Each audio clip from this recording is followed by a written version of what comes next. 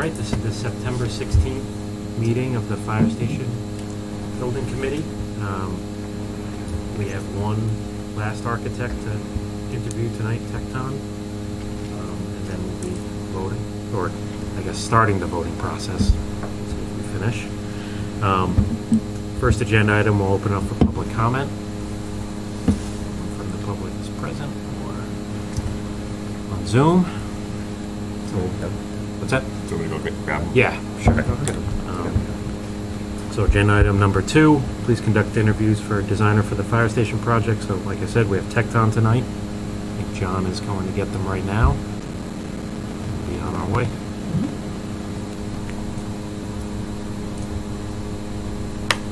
I suppose if you want, you can take care of now, you can move it up.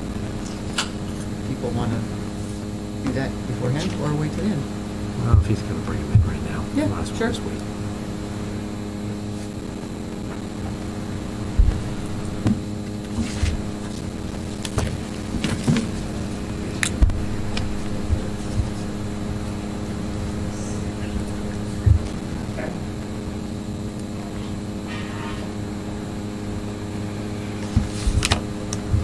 turn on that monitor yet? Oh, You weren't here the other night. Oh, yeah, let's be That's careful very with remote challenging. press. Okay. It it have time Um, though. Your IT guy turned everything on. Yeah, but that one goes to sleep, remember? I just have to, It won't I'll have to plug block, in. I have to block that one because somebody Oh. programmed the remote to hit Oh, both of them. good. So if I turn this one back on, that That one one's will gonna go go off. off. How does one block the receiver? Just walk I'll over, just we'll walk over to it. Okay. I think you can do it from this remote here. There we go. Yeah. I'm sorry? It's on.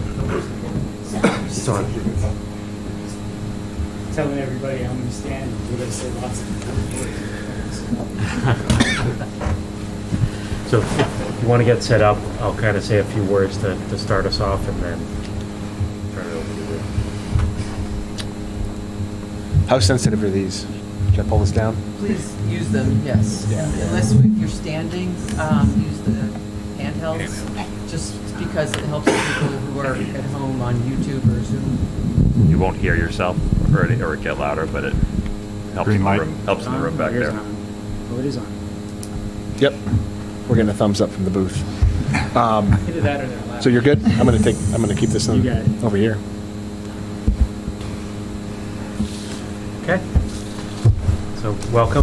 Thanks for, for coming out tonight and meeting with us. Um, So this project really kind of stretches back a few years, as, as you might know. It was originally part of a, a public safety project that was kind of in two, two parts. First part was to move the police facility to another part of the town and then to, to renovate or replace the fire station. Fortunately, the police station ran some complications, so there really wasn't sufficient funds remaining to keep the, the fire station project going at that time. Um, We still have enough funds to, to get us through design, but not enough to take us through construction, which is really where the, the designer's gonna come in to get us over the finish line and kind of get this through construction. Um, So we've, we've taken kind of our first big step and gotten an OPM on board, and we're looking to take that next, next big step and get the right designer on board. So, uh, that being said, I'll go around the room and we can all introduce ourselves. I'm Kevin Champagne, uh, Compare, I'm a structural engineer by trade. Hi, I'm John Kent. I'm an energy project manager for the state. I'm Justin Yanosek. I'm a firefighter. Uh, Chris Baker, a civil and geotech engineer by trade. Aaron Hunt, uh, architect. Blythe Robinson, I'm the town administrator. Uh, Aaron Kinney, I'm the fire chief. John Louis from Vertex? Steve Kirby for Vertex. So with that, I'll, I'll turn it over to you. I thi- I'm sure John probably mentioned to you, we're, we're trying to limit your introduction to 20 minutes. We have a lot of good questions, so I think you'll kind of be able to expand on what you, what you brought. I know 20 minutes is a little short, but When the timer goes off, don't be shocked. Is this- No. No. Good one, too, I can see it. Don't worry, I'll gi- I'll give you the five when there's five left. All right. so, it's all yours. All right, I, I, I'm gonna stand up just because I have all sorts of nervous energy when I'm, Sure. when I'm presenting, and it helps me keep it under control. But my name is Jeff McElravy, principal with Tecton Architects, and with me today, I have a whole folks. Matt, why don't you go ahead? Oh, I'm uh, Matt Salad with Tecton Architects. I'm a project architect. Uh, I've been working with Jeff on public safety projects for about 10 years now. Rebecca Hopkins, also with Tecton Architects, um, project manager, also been working with Jeff for over 10 years now. And I'm Kevin McGarry. I'm a project manager at Fuss and O'Neill. We do site civil engineering, landscape architecture, geotech, traffic, environmental remediation, hazardous materials. Which is why I had you sit down by the. Dumb one. Um, One of the things that's really important for our team is that we work with uh, consultants that we know well, that we work well together with, and that have a commitment to delivering service to our client. That's particularly important to me. And so the rest of our team that's flushed out, uh, H2M Pacheco Ross, um, they're firematic, fire specialists that we work with uh, frequently.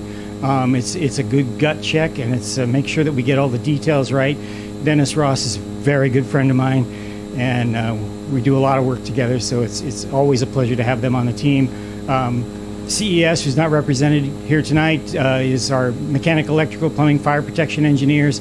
Uh, we work with them very, very often on a lot of different projects, but particularly on the public safety projects. Uh, Kevin mentioned the Fuss and O'Neill connection there. Johnson Structural Engineering, uh, one of the many structural engineers, or actually a few of the structural engineers we work with, and then AM Fogarty. Um, we work with a couple different cost estimators. Um, it varies with how their workload's going and how, how quickly they can respond. And right now, AM Fogarty's been doing right by us, and so we feel good about having them on the team because we feel good about their estimates. As you can see from the map, and you've already seen from the, the, the proposal that we sent in, whoa, that was interesting. There's a lot of public safety experience on the team. Um, if you read deep enough, um, you know that I've been doing public safety now for uh, 35 years or so. Um, with another firm before Tecton, and then uh, the last 15, 16 years, uh, coming on 16, uh, with Tecton. Um, and that's the, the vast majority of the work I'd all police and fire work. Uh, this is a little bit of our recent experience, uh, going back to Wilbraham, Massachusetts, where Chief Fran Nothe said uh, they had money for a new fire, a new ladder truck for, for, for the fire department. And Fran said to the select board, he says, you know, I, I could make my ladder last. but I really need is a building. And so they ended up hiring us, and we did a study for them. And they said uh, we, we figured out what they could afford to build for the money of the ladder truck. And then they said, what could you afford to, or what would it cost to build everything they need? And we told them the number, and we ended up doing that. Um, one important thing is they had a really great asset in an existing building that was awesome. My structural engineer went out to do the review of that building. Uh, when the microburst following the tornado that hit the Springfield area happened, he came out saying, "Yeah, the building's good." Uh, North Brookfield, we've done a lot of work. We did the police station there. We just recently did a study for the fire station. Unfortunately, they got kicked behind line to the DPW facility, so they'll be coming along in a little while. Natick, we were out there this morning, um, wrapping up construction on that.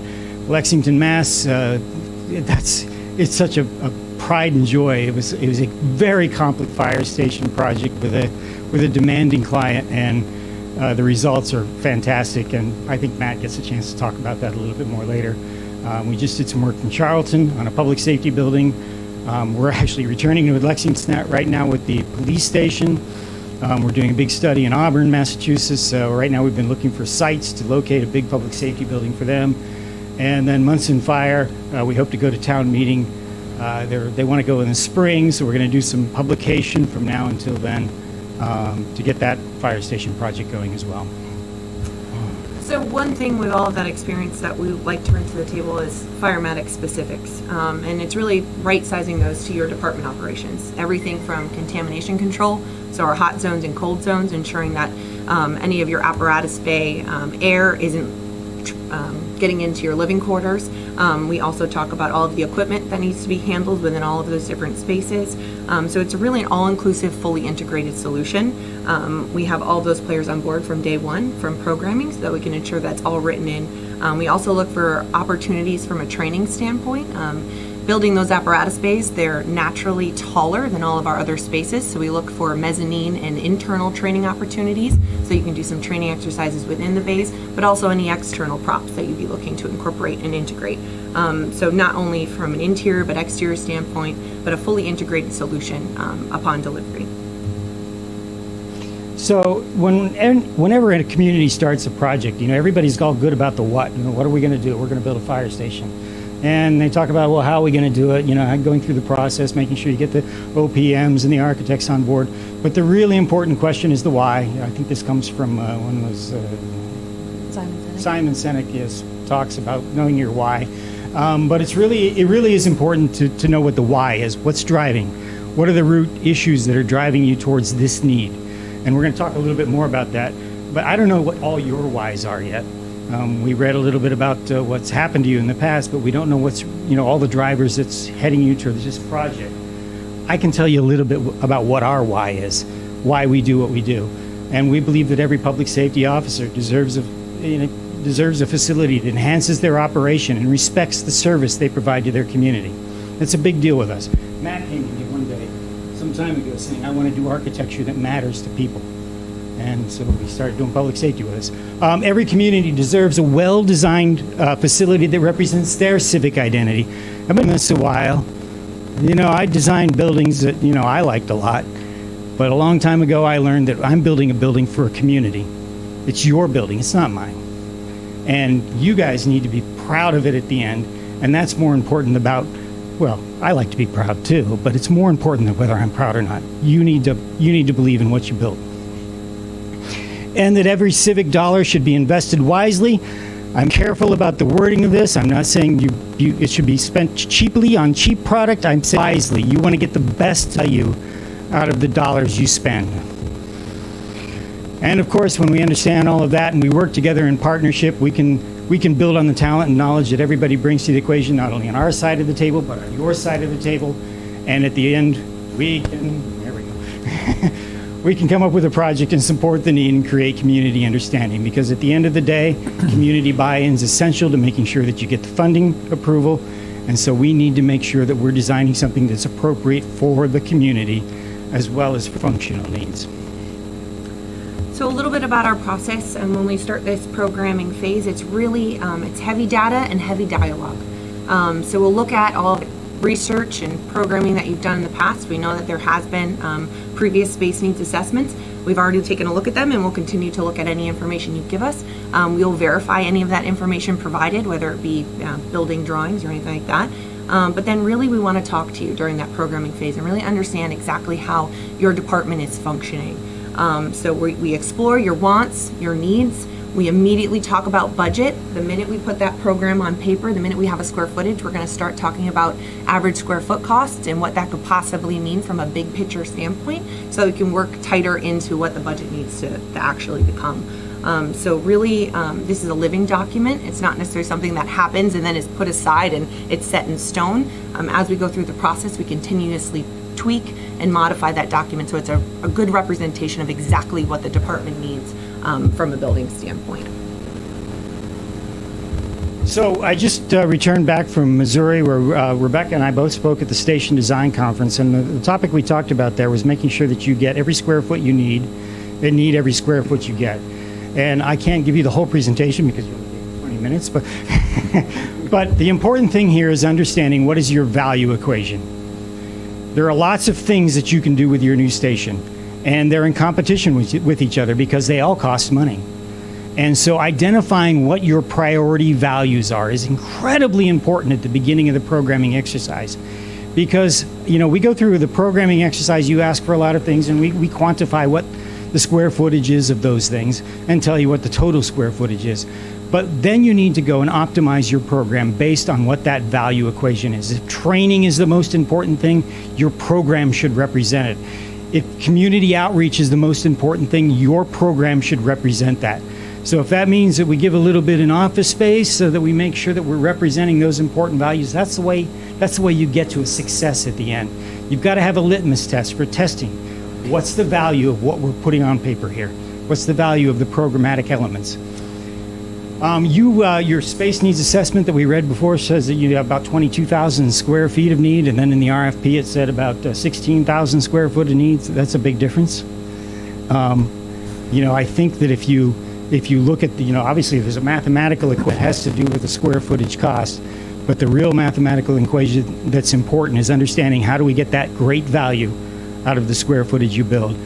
and then figuring out how it fits into that budget equation. So uh, that's really important. So another thing, once we kind of go through, um, to continue through our process, once we kind of created a program, we start to visualize to report what visualizing or what we're creating, you guys can all understand. Um, that allows for full team buy-in um, and also allows for us to have a reason behind every decision made from a design standpoint. This can be everything from quick block diagrams on a site plan just to show you exactly where the apparatus bays would be located, what the response routes would look like, where the public groups would be on site, um, to exploded axonometrics to even walkthroughs. Everything we do today is innately three-dimensional and we love to leverage that. We know what three feet looks like on a drawn floor plan, but we look at drawings all day, every day. That's our job. So what we like to do is leverage the 3D model and allow you to kind of walk through the spaces, visualize the spaces, and that way we can get much um, more effective feedback and say that space doesn't work. Um, I need this to be over here. Um, I'm going to have issues with response from my living quarters to get to the apparatus bay. I see challenges in that. That allows us for the, the, the most optimum solution that we all buy into.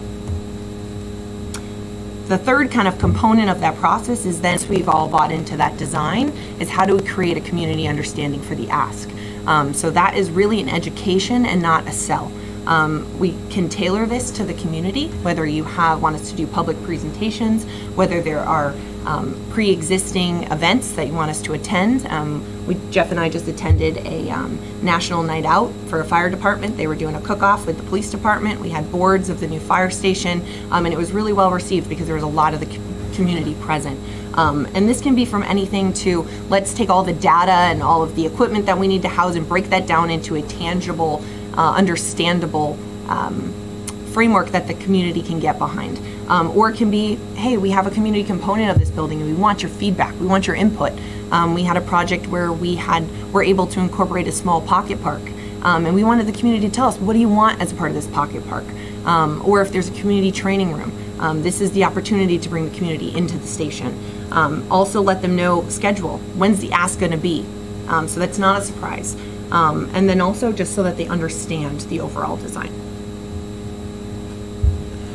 So, a lot of what we do also is about integrated quality, and, and, and that goes all the way from our design process in, in the way that we communicate with you folks, but also the way that we develop our contract documents and how we coordinate with the contractor. We want to make sure that we're putting together a really tight set of, set of documents that, that you all understand as, as far as what's going into them, so that when the contractor buys them, we're not getting surprises. The last thing we want is chief for you to be there halfway through construction and say this isn't what I thought this was going to look like because that's going to be an expensive change order for us to fix or you're going to be living with that issue for the rest of rest of the life of the facility.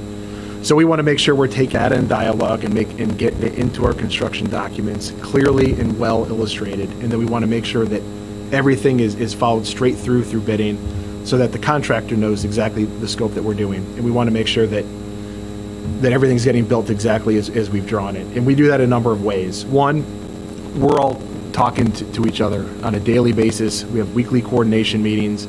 We actually, we all get together actually after hours and talk about ways that we can do our work better, communicate better, especially when we're going through like the pandemic over the past year.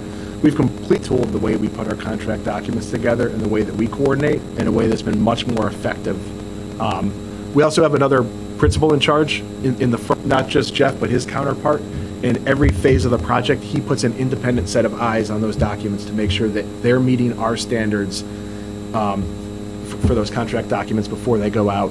And then we're utilizing all of our technologies. You know, everything's modeled in 3D. You saw how that, that image went from, from the 3D view into, into what it looks like in reality. Making sure every trade and every component is modeled accurately and with intent ensures that it gets built exactly as we intended it. So really quickly, um, a couple case studies here. Uh, the, the one I talked about earlier with the, uh, the afterburst of the tornado is over on the left of Wilbraham. You can see that uh, little purple area in the middle there. That's the, the existing fire station, and we ended up building all around it. Uh, the interesting thing here is that they, uh, uh, we had to evacuate the fire station during construction, and so they had a substation, so they relocated operations over to the substation, and you know they ended up putting a lot of the vehicles outside during that construction period. Uh, Chief Nothe tells me that during the winter they ran the trucks to keep them warm. Um, It's a challenging prospect, but, you know, that's how they managed the cost and kept, kept the, uh, the the department operating.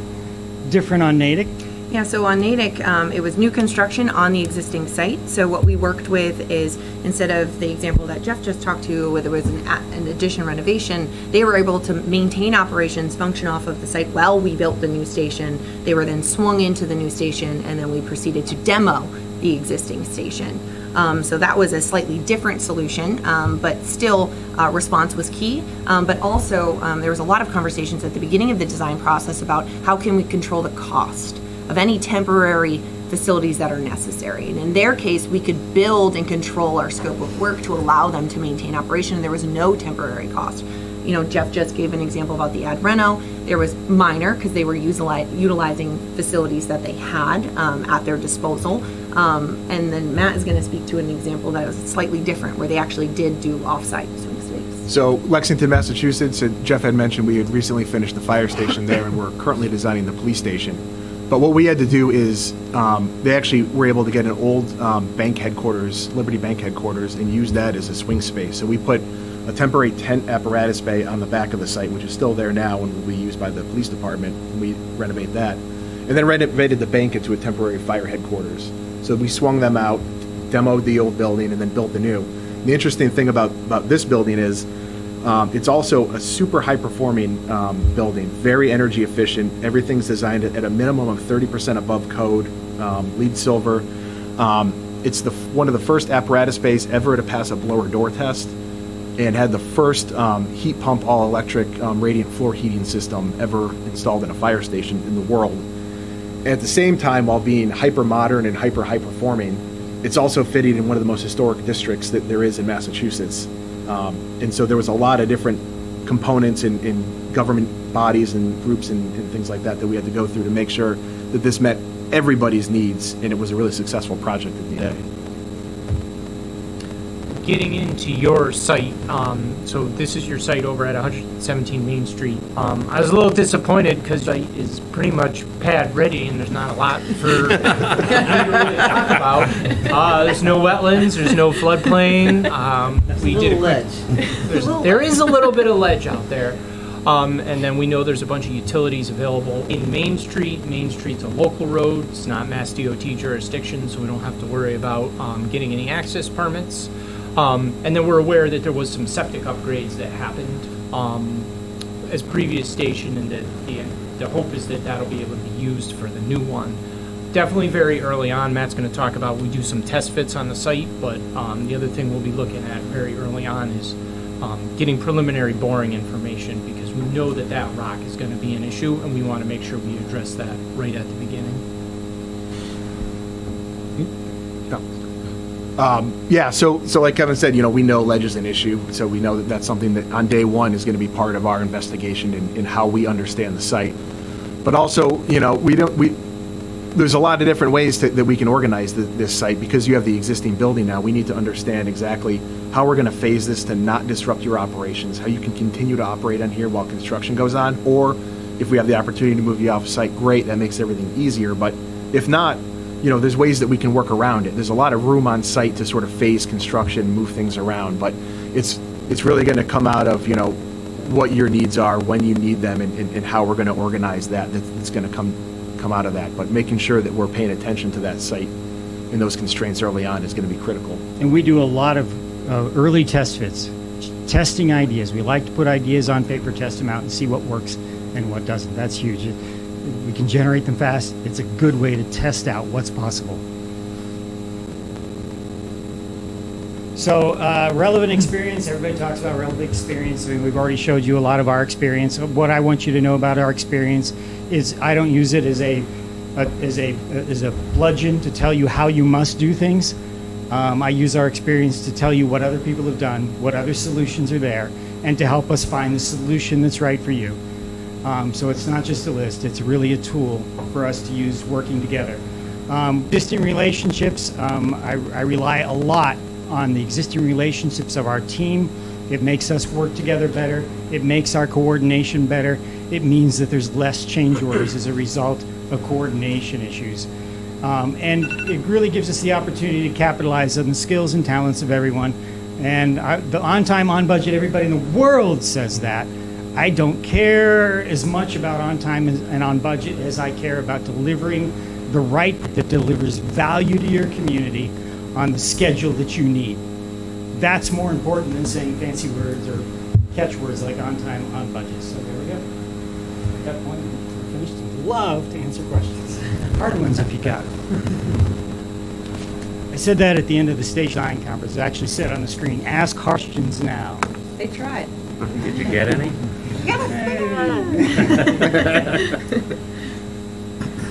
Thank you. Um, So my first question, uh, I'd like you to kind of walk us through a little bit uh, of construction bid process, your role, as well as uh, what you foresee the town's role in it. Matt, I think that's you. Sure, happy to answer. So um, it, it, certainly, there's, there's a little bit of variance whether or not we were to do this CM at risk. So if we went chapter 149A, fine. Uh, We just did the Shrewsbury with their police station, so we're very familiar with the process. But as far as is our bid coordination, so we'll, we'll assemble our documents, get everything ready to go. Um, uh, We're sort of right on that threshold, depending on how this project goes forward, where we may or may not be into that $10 million pre-qualification threshold. Um, If we need to, that's fine. Um, Probably halfway through construction documents, maybe a little bit earlier on, that's when we would start going through the pre-qualification process. And we'd be wor- working with your OPM um, closely on that to, to to manage that process, whether it's, it's all on us, or all on them, or, or a shared responsibility throughout. Um, That's not a problem.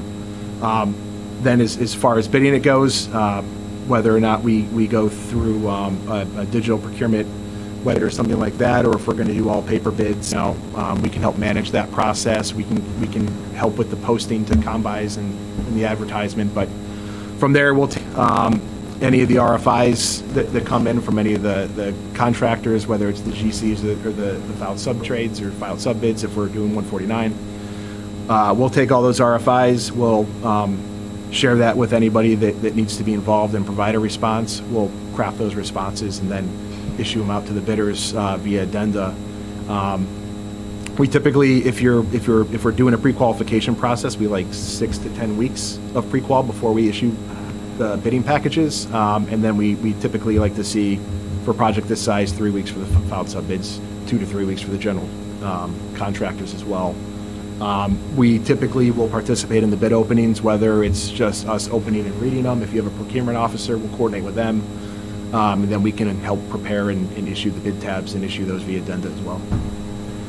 What about, um, you know, the Division Zero, Division One specifications? Yep. Um, Is Division Zero something you would look to us to provide? Uh, We would look for your input, but we would be happy to craft it. Uh, We would, that the contract would, we can either, we can either start with a base AIA contract for the contractors, your town counsel review our edits to that, or we can take your contract and incorporate into the documents, either way. Other than that, we we typically prepare the invitation for bid and- and and all that Division Zero work. Do you want to mention your qualifications, procurement officer? Oh, Kevin, Kevin McGarry and I are are both MCPPO certified as well. And I've been around long enough that I, that I had to do the Massachusetts public bidding before we had OPMs to help us through the process. So, um, I, I always feel like I, all the burden falls on us, so whenever we have help, it just lightens the load and makes it easier. Um, But, but, but, what, just one, just in addition to the, to Kevin being MCPO certified, because he is your civil engineer, that will help you with procurement if we are gonna do some signalization and need to bid that package out separately. And we do have experience, we did that in both Lexington and Natick. Sorry. From a traffic I forgot what I was going to say. It was really important. You can judge if it comes back. Um, Maybe walk me through, uh, if you can describe something on a past project or condition that occurred on a past project that resulted in an unexpected cost, um, and how you uh, mitigated it the best you could. So we that occur. Uh, it, it happens. Um, you know, you, you try to do as much research up front as you possibly can, but you know, research costs money. Um, so I'm going to go to you, Matt, again. Let's talk about uh, Lexington with the um, the asbestos on the uh, the foundations there. Sure, yeah, so, um, Lexington Fire, uh, the, the headquarters was a late 50s building, I believe. Um, and it was, um, part of it was, was a crawl space and, and part of it was, was a basement. Um, we, we prepared the, the hazmat specs, the abatement specs for it and everything. And, you know, um, during building demolition, there was some uh, asbestos and things like that in the ground that we couldn't account for, so we had to deal with it. Um, additionally, uh, there were some things that we knew that we had to deal with on site. So, so for, for example, um, it's all about mitigating risk and, and understanding what that risk is early on. Um, so we knew that the site has a high water table. We knew that the adjacent property was a um, gas station that had a fuel release 30 or something years ago. So we knew that there was petroleum impacted soils in the water table. We knew there was lead in the soils as well. Um, so what we did to mitigate much risk as we could, because we couldn't deal with all of that hazardous material under the building, is that we, we just said, we're, we're not gonna do regular spread footings. We're gonna go with rammed aggregate piers. The soil is a mess. We can't afford to take everything off-site and replace it with the good stuff. So we're gonna rammed aggregate piers. We're gonna work with our hazardous uh, materials folks. We're gonna work with our geotech and come up with a, with a plan to, to deal with that and sort of cap everything under the building. So we did that. But at the same time, once we tore the building down, there was some additional asbestos that needed to be dealt with. I don't know if you want to add I anything to just, that. I just want to clarify that the asbestos was buried in the soil and not visible to us. So we did not know it was there. Yeah. I just want to make sure. good that point is clarification. But- Very clear. But so what happens when, when, when, when you see this, right, it shuts the job down, everything becomes a mess, and every day the job shut down, extended general conditions, right? So now you're paying for money that you're not getting any value for because the job shut down and your schedule is delayed. And when your fire department is moved halfway down the street to a temporary building, conditions are less than ideal to begin with, and you want them to be in a place where they can best serve the public. So we need to get them back into the, into their new building as quickly as possible. I would just add to that, I mean, for this site in particular, rock is a big thing, so we're, that's something we want to investigate early and often, so that we don't come across that during construction. And it may not be as simple as just doing borings. And and there's been a few sites that we've dealt with where we knew there was rock and we really wanted to understand where exactly, like, let's map the surface of the rock. Are we putting our elevator in, an- in a really problematic location? Um, We can do some easy test bits, we go with your local DPW, and we can really get a better sense of not only the soil, but a information that would, would help us down the road But to we've to dealt, mitigate the yeah, unforeseen. dealt with very complicated geotechnical conditions on projects, as well as some of the environmental concerns. Again, Lexington had it all. But- I think Matt had a closing statement. so, anyway, so, but so sometimes this, this happens and, and you have to deal with it, right? And, and, and what's a contractor gonna do as soon as he sees this? He's gonna give you this huge number and nobody's gonna want, you know, you're gonna look at this and say, I, we can't, the project can't afford this. We didn't have this in the budget. Contingency is set at X and now we have hundreds of thousands of dollars of unforeseen conditions. So, from the very beginning of construction, you need to start building that relationship with your contractor to make sure that we're all playing on the same team, you know? A lot of architects, when they come in, the first project meeting that they have with their contractor, they're gonna, they're gonna sit there and say, these are the things you have to do to meet the project requirements and and whatnot. We're gonna come in, in the first day, we're gonna say, what can we do to work together to best deliver this building you know, it's turning around submittals quickly. It's it, it, just it's building that relationship, that rapport, that trust, and that partnership. And so we did that here at Lexington. And when this change order came across our table because of all these unforeseen conditions, we were able to take this.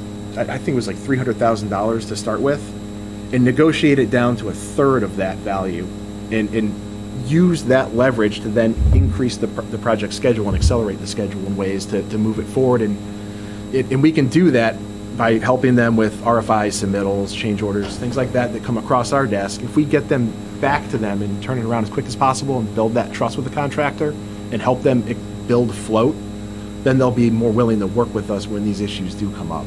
Of course, it didn't hurt that we had a good contingency and came a million dollars under budget with a big day, so.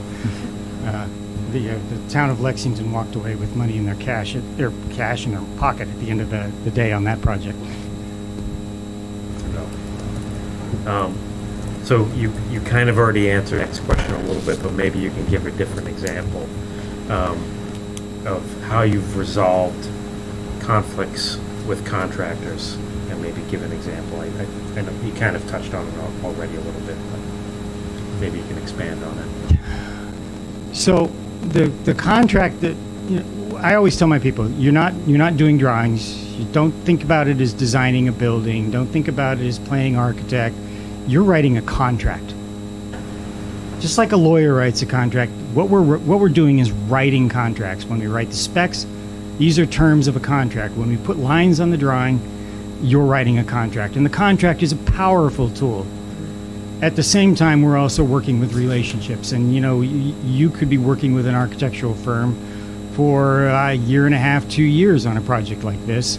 Um, we could be working together with, with a contractor for over a year on a project like this.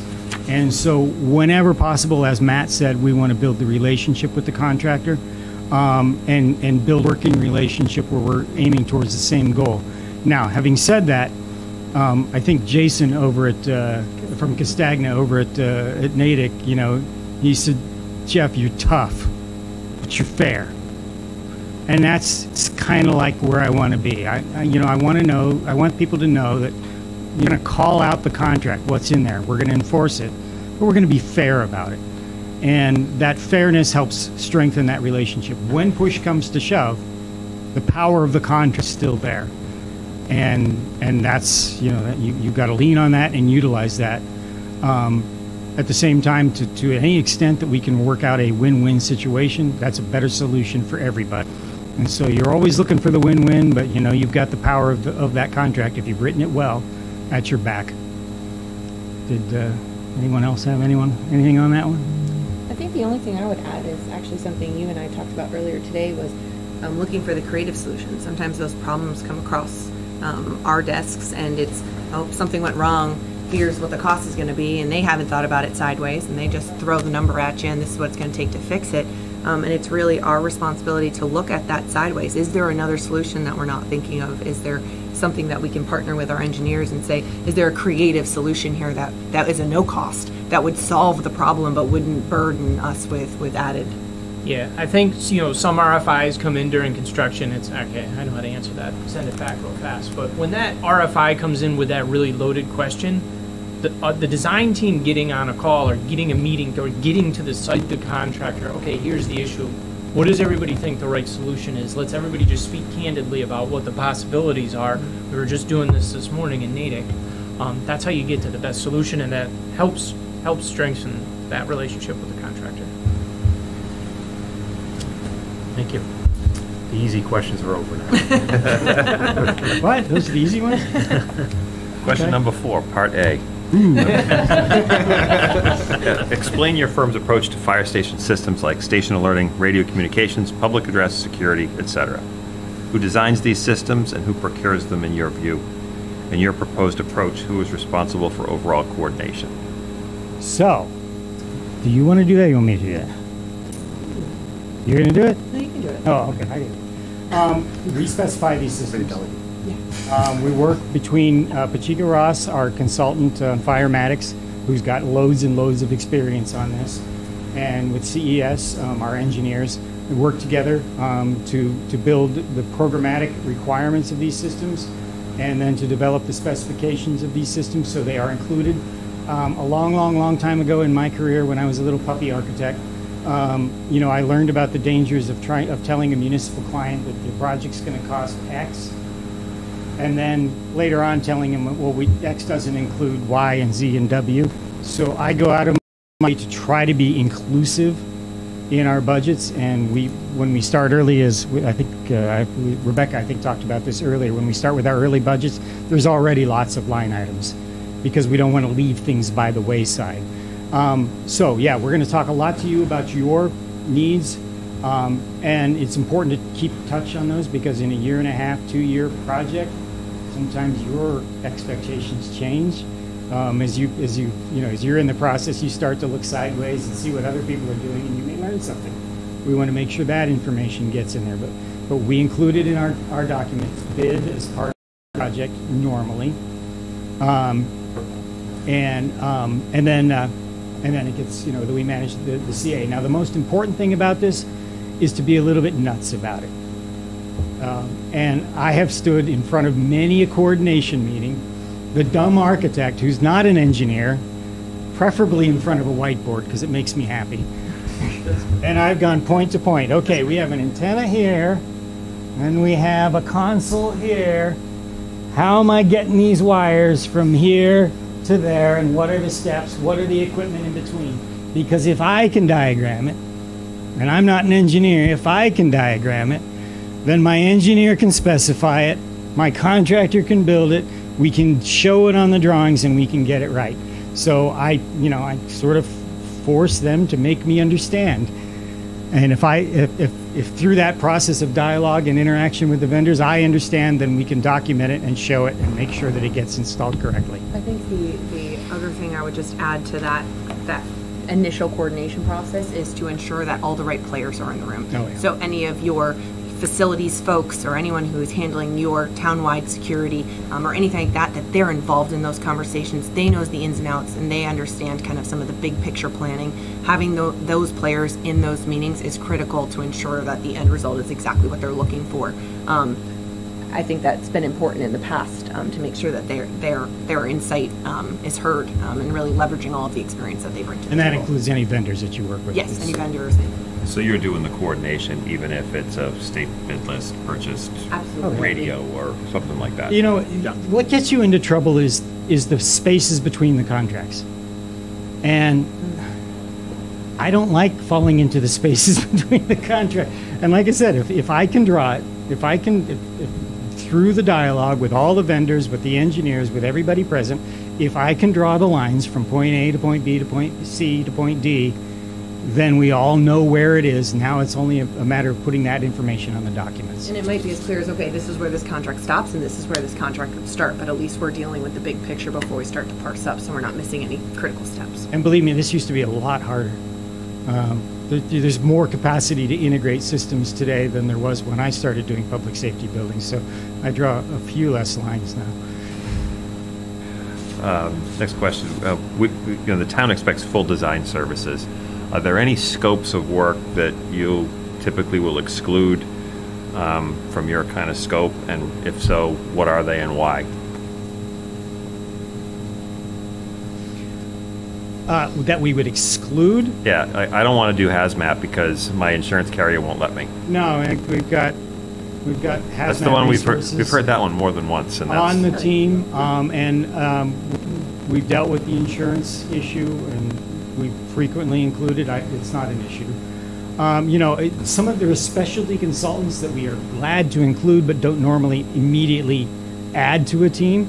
Like there's lighting consultants. You know, if this was a library, I might add them to a lot of libraries, but I might want to include them. Yeah, I'm- the and I'm not talking about in-scope Um, versus you know, acoustic like- consultants, those kinds of things, they're always available, and, and if there's a particular issue, that we can certainly bring them on board, but, um, you know, we want to be clear that we understand at the beginning, and that you understand at the beginning, which one par- providing and which ones you're providing. I don't have a problem getting a surveyor, I don't have a problem getting a geotech engineer, I don't have a problem, uh, give me some help.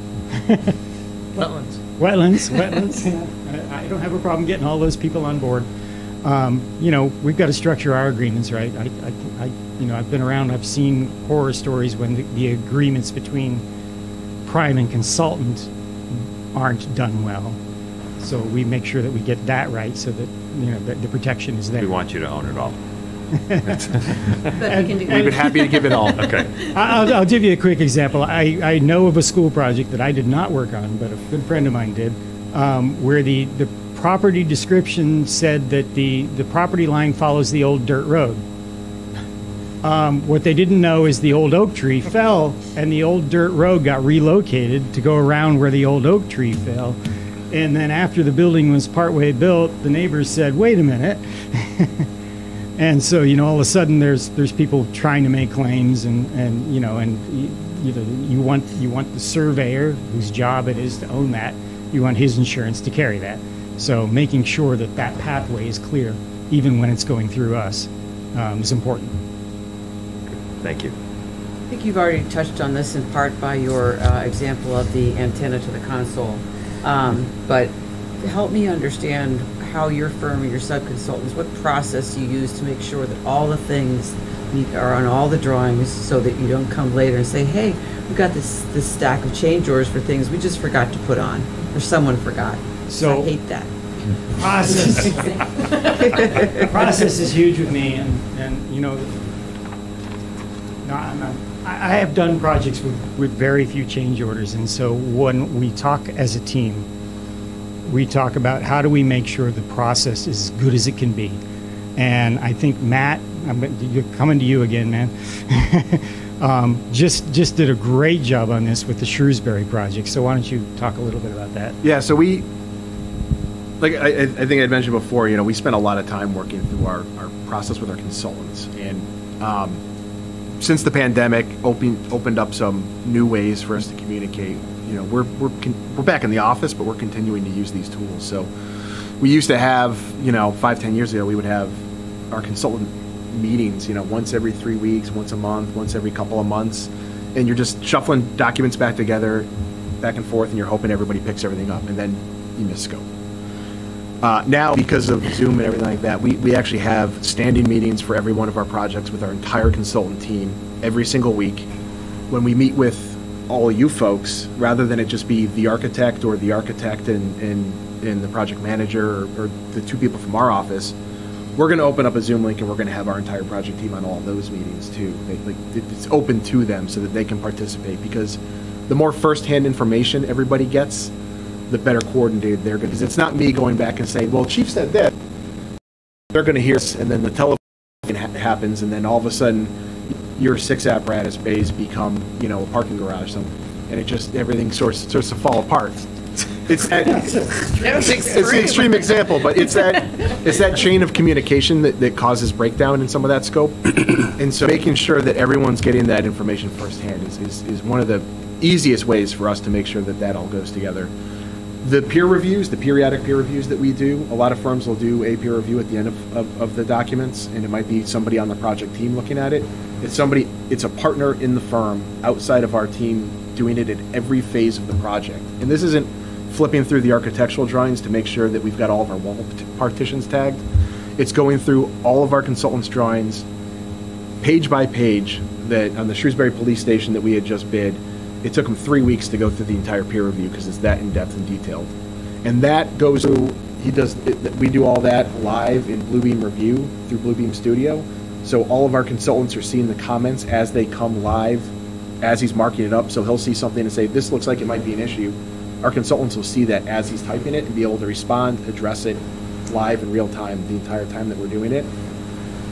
That's half the change orders. Half of them are going to be error, errors and omissions, and that's how we mitigate a lot of those. The other half is owner ads, things that you guys, I understand. you know, things that you didn't. No. And that's not, and that's not to be, that's not differentiated from errors and omissions because those should be considered partially an omission of the architect because half of the time it's because we didn't communicate exactly what that was going to be, and you're changing it after construction because it wasn't right to begin with, or you or you didn't understand that you know we need this many outlets to power this many pieces of the equipment that you're putting in there.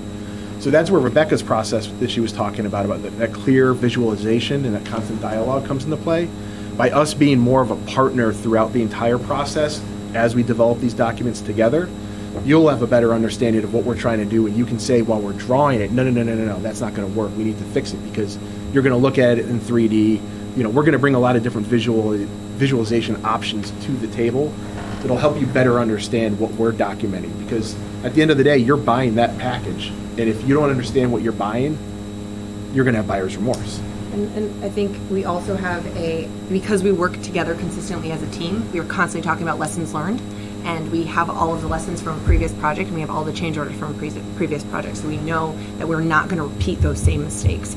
So anything that we've seen as a team over the past five projects, we're constantly discussing and ensuring that it, that doesn't happen again. Um, if it was just a coordination miss, I mean, they can be something as little as, well, a civil engineer thought we were owning it, or the structural engineer was gonna own it, and the structural engineer thought the civil engineer was gonna own it. And then no one ended up owning it. Or it was just in the drawings, but not fully coordinated into the specs. All of those lessons that we've come across, we ensure that we're, we're touching base on them, we're ensuring that they're incorporated into the next step so they're not repeated. So half the change orders are. Well, whatever, you know, throwing out numbers. A major concern for the fire department staff is their living quarters. Um, Obviously, you all have walked the st- site and you- you saw the current conditions. Uh, Obviously, we've outgrown uh, those facilities. It's an overburdened situation. Um, What is your approach to tackling the temporary quarters, uh, relocating operations, and how would you make this matter a priority? Um, And how do you provide a cost-benefit analysis of the different options? Wow, there's a lot loaded into that question. There's living quarters, there's temporary quarters, there's the cost benefit analysis. All right, so I'm gonna I'm gonna go backwards, and you're, you're gonna work on the living quarter one while I answer these first two. Uh, the best way to evaluate the options, um, we we just did this on two projects, um, one for the Monson Fire Station and one for uh, North Smithfield, Rhode Island Police, where um, what we did is they wanted to know should we should we add on and renovate? Should we build new? And so the best way to find the answer to that is to really test the heck out of both of them. It became our job to make the most successful plan that is an ad reno plan and the most successful plan of a new construction on this you know in, respect to the site that they had um, and then um, look at all the costs and not only just the direct construction costs, but all of the associated costs. Temporary quarters is a big piece of that. Can, can you operate out of the facility? Do you need to have a, a swing space? Do you need temporary apparatus bays, which is a gift that keeps on giving because tents are hard to heat? Um, you've got to look at all of that, and then you've got to look at, at the life cycle cost as well. So, uh, you know, for instance, in uh, North Smithfield, Rhode Island, the delta between new construction on the same site and renovation of the building was really pretty close. But when you look at the life cycle cost, the new construction was so much more efficient that over 20 years, why would you spend money on the old building? Because there's too many cons in the layout. There's too many, you know, compromises getting around the challenges of that, and in the long run, it doesn't even pay off. Um, Monson, it was closer. Uh, it was closer. Uh, the difference between new construction and and, and renovation, um, but still, you know, you're putting forward the criteria to help make that decision. So now, temporary So, living quarters. ironically, we talked about your temporary living quarters, and it could potentially provide an opportunity for temporary facilities if we're renovating and uh, creating an addition because you have a, a mobile capacity of those living quarters. So we could leverage that potentially during construction. Um, I think from a living quarter standpoint, it's something that we would talk up front about from a, you know, during programming um, to understand exactly what your needs would be around those living quarters. Um, what we've consistently seen is individual bunk rooms um, for a few different reasons, ensuring that you're getting proper sleep. Um, we're going to be talking about acoustics. We're going to be talking about where they're positioned on site, lighting. Um, we're going to talk about how the alerting work uh, works. Um, do you want everybody to wake up? Do you want all the lights to come on? Do you want uh, all of that? Um, really plays a big part into ensuring that you're able to operate effectively 24 hours um, a day. So um, we'll kind of document all of that as a part of the programming process, um, and then um, ensure that they're designed accordingly. I mean, I, I think from you know temporary living quarters right now, the fact that you have to between the buildings is not ideal. Um, you're responding from those quarters. I mean, I myself, I actually had a fire at my house at two in the morning, and I was astonished how quickly they got there. It was probably the most terrifying night of my life, and I had never appreciated more of what you do in that moment. Um, but they were rolling right out of bed and getting to getting to my house, and um, I think just an appreciation to um, allow that to happen effectively. Um, that you're not having to run between buildings or running from your living quarters to go find an apparatus in a, a remote um, uh, garage of some sort. Um, so, from a living standpoint, I think just ensuring that it's incorporated properly into the building design. And I don't, want- I don't want to just think about the dormitories themselves, but also the day room, the kitchen, um, the fitness facilities, all of those space are part of the living facilities for an active fire department. And, you know, making sure that we have the appropriate facilities, the space, the ability to, you know, to, to, to, to learn, uh, to commune, um, to be healthy, um, making sure that we respect the separation of the hot and cold zones and protect your health. Those are all important things. please describe your firm's approach to construction administration. What are your practices when it comes to keeping projects running smoothly, verifying adherence to the construction documents, responding to RFIs, and then uh, supervision and inspections? Yeah, so, I um, didn't say it was you yet. Please jump in. So, um, yeah, so I think we touched on a, a few of these things a little bit, um, but um, a lot of it for us is about building partnerships with the contractor so that we're all working towards the same goal, but at the same time knowing when we need to drop the hammer and be forceful and strict and enforce the contract. Um, as far as uh, RFIs, submittals, things like that, we, we sort of have a commitment that if we can if we can reasonably turn anything around within a 48-hour window, we try to. The faster we get that material back to the contractor, the quicker he can just keep moving forward. Especially now when we're dealing with a limited supply chain, um, lead times on a lot of things are, are really challenging, and it causes it can cause a lot of issues with the contractor schedule. So we want to make sure that we're not contributing any delays in the schedule. So we want to keep them moving forward. Um, having said that, we also need to be diligent in our review and make sure that we're doing detailed analysis of everything that's coming across our desk, right? We, the last thing we want is for a submittal or a shop drawing to go out that has incorrect information and now it's getting built incorrectly in the field. And our documents say, you know, you own the contract documents and even if the shop drawings were approved and have wrong information on it, you built it wrong, you have to tear it out and do it again. That's just a whole mess of arguments and butting heads and that just leads to animosity and, and that's the last thing you want on a job site because there's enough of that to begin with. Um, in terms of on-site inspections, um, we're there all the time. We have a pretty open relationship with our contractors. In, in that, I don't mean everything filters through the architect. Um, I don't mind the, the contractor talking to Kevin, um, as long as all that information then gets back to me to make sure that, that, that we're managing that at the end of the day. But, but if, if the contractor has a question on, you know, we're going through in, in Shrewsbury at their police station right now, we're just laying out the building, they, their first foundation pours tomorrow. And so the past couple of weeks, there's been a lot of coordination on setting joints throughout the site and making sure the survey data aligns with the, with the footings and foundations. And so myself, another administrator in my office, and Kevin have had plenty of conversations throughout that, and, and, and, and that's great, so that we keep that open line of communication. Um, I'm on the job sites all the time. You know, I like to be there once a week.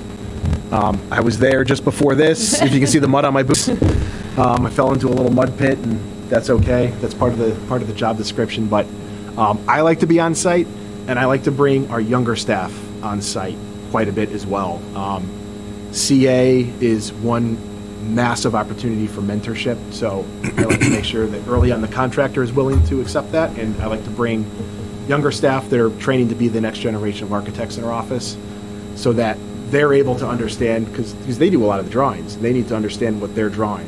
Um, so I want to make sure that, that the whole construction process is a mentoring process at the same time. We also leverage technology to help administer the contract. So we have um, typically, I mean, we use Newforma, but we can utilize, um, we work with the contractor to ensure everything is digitally transferred, so that expedites all of that back and forth.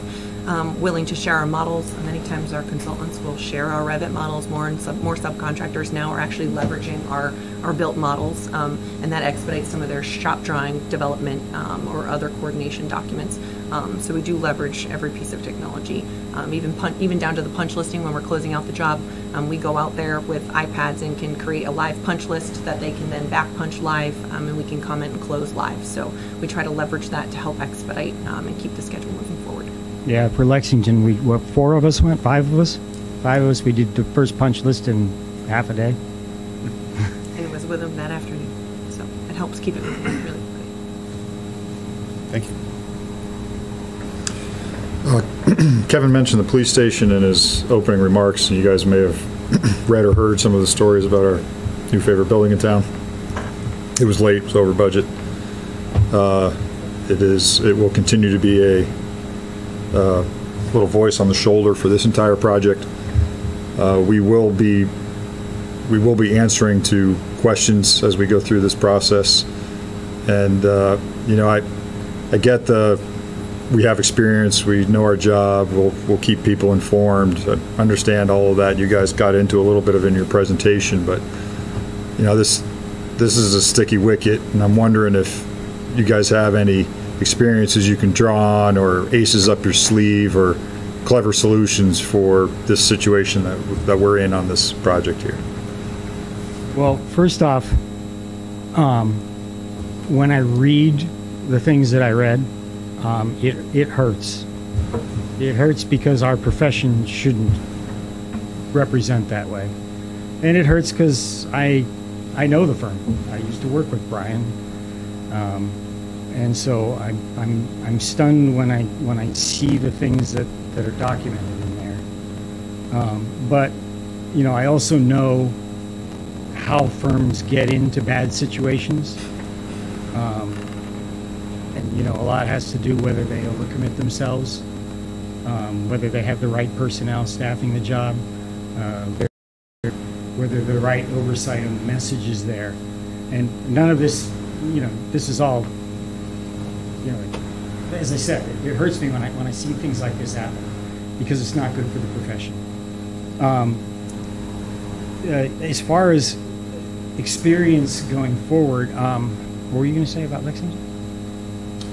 Um, Just sort of a similar challenging conversation that's I'm not sure that's exactly the right. um, look, you know, it, there's going to be a, a, a trust building uh, exercise with your community. Uh, there's a trust building exercise with you. There's going to be a trust building exercise with everybody moving forward through this project. That's the fact. Can't change that. Uh, can't shy away from it either. Um, the only thing I can do is come in here and try to give you a reason why behind every decision that's made. And this this is this is a long-standing um, practice with us. Is that I don't ever want to go in front of a town meeting and have them challenge me with, "Well, why'd you do that?" And the answer is because I thought it looked good or because I liked it. No, everything that you do when you're spending public money has a reason.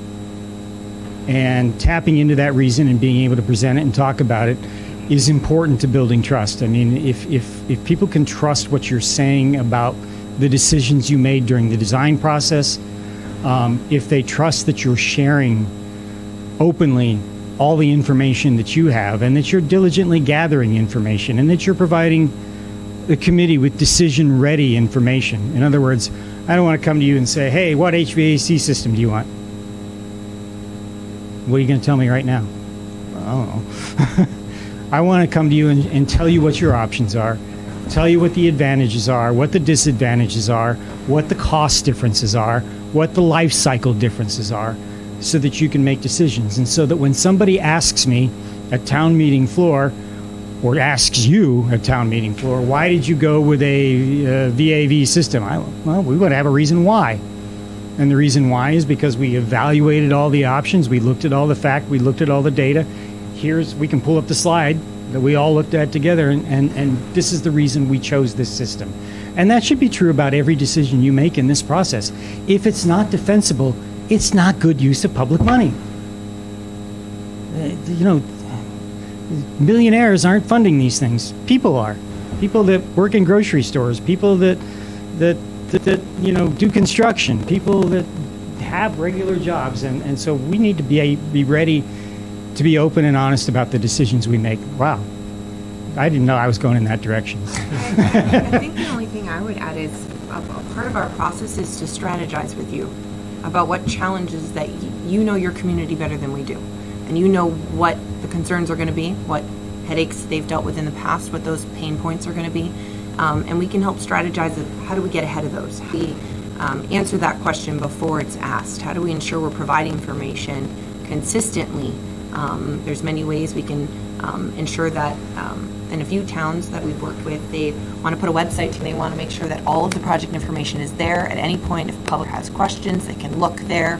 Um, and, and that allows them to ensure that that information is available so that if they, they have concerns, that's where you're going to go. Um, I've even worked with a few departments where um, the, the fire department was taking on a lot of those questions from the public and they kind of just created a frequently asked questions area. And a lot of that had to do with pains of the past. It was, it was you know, things that went wrong on pro- different jobs that the community has funded previously. Um, how are you going to ensure that doesn't happen again? Um, and we we do really view that as a partnership with you um, to understand what those are and how can we get ahead of them. Ties into your um, public. Absolutely, yeah. Great, thanks. Uh, We certainly want you to design us an award-winning building, but for me, it's important that it wins an awards for functionality as opposed to aesthetics. How are you going to take the Chiefs program, make that a priority, and balance the aesthetics that the community desires with the functionality of the fire station? All right, I'm gonna do the start of this one. You know what story I'm telling, right? Yeah. So a long time ago, back when I was that puppy architect I talked about earlier, yeah, I'd been working with this uh, firm and I'd done a lot of police stations at that point. I don't know, six, seven. So many.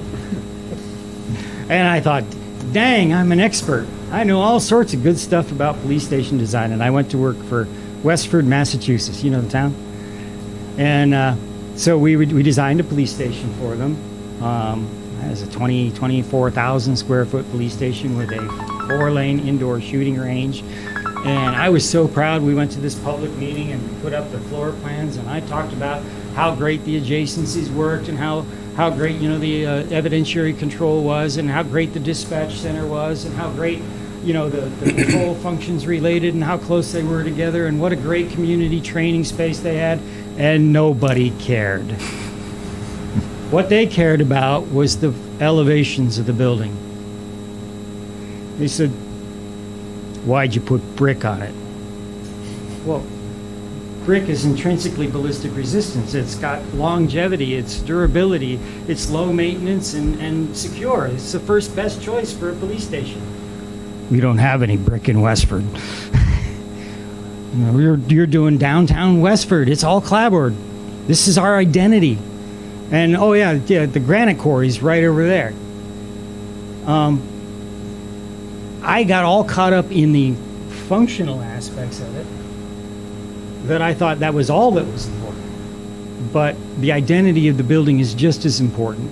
And not for me to decide what the identity of your civic building is, because it's your civic building. And so being able to tap into you as resources, to your community's resources, and understanding what their expectations are about a building is really, really important. From the functional standpoint, who's got this? So I guess I would bring it almost back to, you know, basic architectural education, that in a public safety building, form really doesn't drive function, Form is gonna drive the form, in, in, in this instance. Because response adjacencies are gonna be critical, that we're going to position the building from a, from a layout standpoint on the site um, that is most effective and efficient for the department's operations. Now, the aesthetic and the form, to Jeff's point, still very, very much matters. Um, so how can we then take that and translate that into a building that fits within that context? Um, that's something that we also constantly consider is, is where are we positioned within the town? We've had a few different stations where maybe they're on, um, they're in a residential community. Well, apparatus bays are big. They're tall, they're big, that can be a big mass. How do we break that down so it really fits within that residential context? Um, how do we create space that's um, welcoming? You know, it's a it's a public building. How do we ensure that the public feels welcome? I know where the front front door is. If I have a problem or maybe there's an emergency medical, I know where to go. I'm going to walk into that station and know and be very comfortable and know that I'm going to be met with someone um, in a safe environment. So I, I think there's a lot of different ways we can balance aesthetics and function. Um, I think with the with the programming to start, we can really begin to lay out those adjacencies and, and ensure that the operations are effective, um, and then massage that into a, a form and an aesthetic that fits within the community. You know who our worst critics are? Each other, yeah. I, I, I'm a principal in the firm. I could have had a little office with a door and all that. And I sit, and Becca's back, you know, Matt's right there. And the reason is because we invite and welcome the, the, the dialogue, the criticism. You know, hey, look, we were in programming, we, they said this was an important adjacency, and the plan you're drawing doesn't have it. And you're right. Right. You gotta go back and rethink that. And, and we love awards; those are great, but that's not why we do public safety work. Um, if we if we wanted to just you know do do the magazine covers and, and all the all the, the great aesthetic pieces of architecture, we, we would do something else. We, we we do public safety work specifically because it's it's our way of giving back to the community, and giving back to the people that, that really protect us. And so that's, that's really the reason, that's really our why. Um, we all sort of have public safety ties. Jeff was the architect for my great-grandfather's fire station, so, you know, we have a long history. That's how um, old I am. That was named it was a long time ago. um, but but we check our egos at the door, and, and this isn't ego-driven architecture. This is this is our way of doing sort of public service using our expertise. Thank you. You conducted post-occupancy interviews of any of your public safety or fire station uh, buildings, and I guess if, if so, what are some of the lessons learned that you've taken away from those? Um, we, don't have a actual formal post-occupancy evaluation process. We've talked about it a lot. However, I got to tell you, you spend a couple years with folks and you build relationships. Um, you know, uh, when when Sutton Police uh, at their uh, uh, ribbon cutting ceremony, you know, uh, Chief Towle said that uh, you know not only, not only did I find a great architect, I found a great friend. He was talking about me. Um, we found a great friend, and so we we constantly have dialogue with uh, in follow up with our with our clients. We talk about what works, what doesn't work. I just got an email from Michael Cronin um, from Lexington today with uh, some things that he's noticed that that maybe we want to look at in the future as a, as a change in practice. Um, you know, one of the early stations I did was up in Hudson, uh, uh, New Hampshire, and you know I had a 15, 20 year relationship with the chief there, um, and we get we got to talk a lot about what works and doesn't work. Um, so, yeah, I mean, probably we should formalize a post occupancy, but the, the relationship seemed to go on, and we keep talking about it and learning learning that way. So. It's usually it's usually little lessons learned. You know, it's it's something small. Um, that was just oh, you know, uh, we were dealing with one recently where they can't quite hear the paging clearly in the restrooms when they're in a shower. Okay, well then maybe we should look at where we locate those speakers. So it's usually minor things, um, or it's a, a building monitoring system. I remember you get that phone call about the well, the lights keep going off and they're uh, yeah, it's like little it's little things where it's maybe just not understanding the system. There was North Brookfield Police where I got a phone call from Chick Tamajian, the chief, and he says uh, he says the the lights aren't working in the training room. I said, well, what do you mean? He says, well, during the daytime we noticed that uh, all, the- all the lights along one side of the room go off, and I said, Chick, um, it's a daylight harvesting system. It's a sustainable uh, strategy. So when you have enough, there's daylight sensors. When there's enough light in the room, the electric lights along the edge turn off because you don't need them. So usually they're smaller items, um, but creating that, to Jeff's point, creating that dialogue. Um, I do have an evidence-based design certification background, um, so we do talk about post-occupancy more on the healthcare side from a firm, as our firm does a lot of other different types of um, work in different sectors. Um, so we are very familiar with post-occupancy. Um, to Jeff's point, we haven't necessarily done them for public safety specifically, um, but they're definitely something that can be leveraged um, from a lessons learned standpoint, um, and we'd be willing to do if that was something the community was really interested in understanding. One of the other ones I learned a long time ago. Sorry, it's not a fire one. It, I, I, Chief Gendron in Hudson, New Hampshire, called me up and I said, he said, I think there's something wrong with the, uh, the, the natural voice transmission ballistic window. I said, well, what do you mean? He says, well, the people in the records room, um, when they're talking to people in the lobby, um, they can hear them just fine. But when the people in the lobby talk, the people in the records room can't hear them. Huh. He said, Chief, do you have any sound in the lobby? He says, No, it's quiet out there. He said, Do you have office equipment in the records room? Well, of course, yeah. Ah, I see the problem. Because it was so quiet in the lobby. You know how people, if it's really quiet, they tend to speak quietly?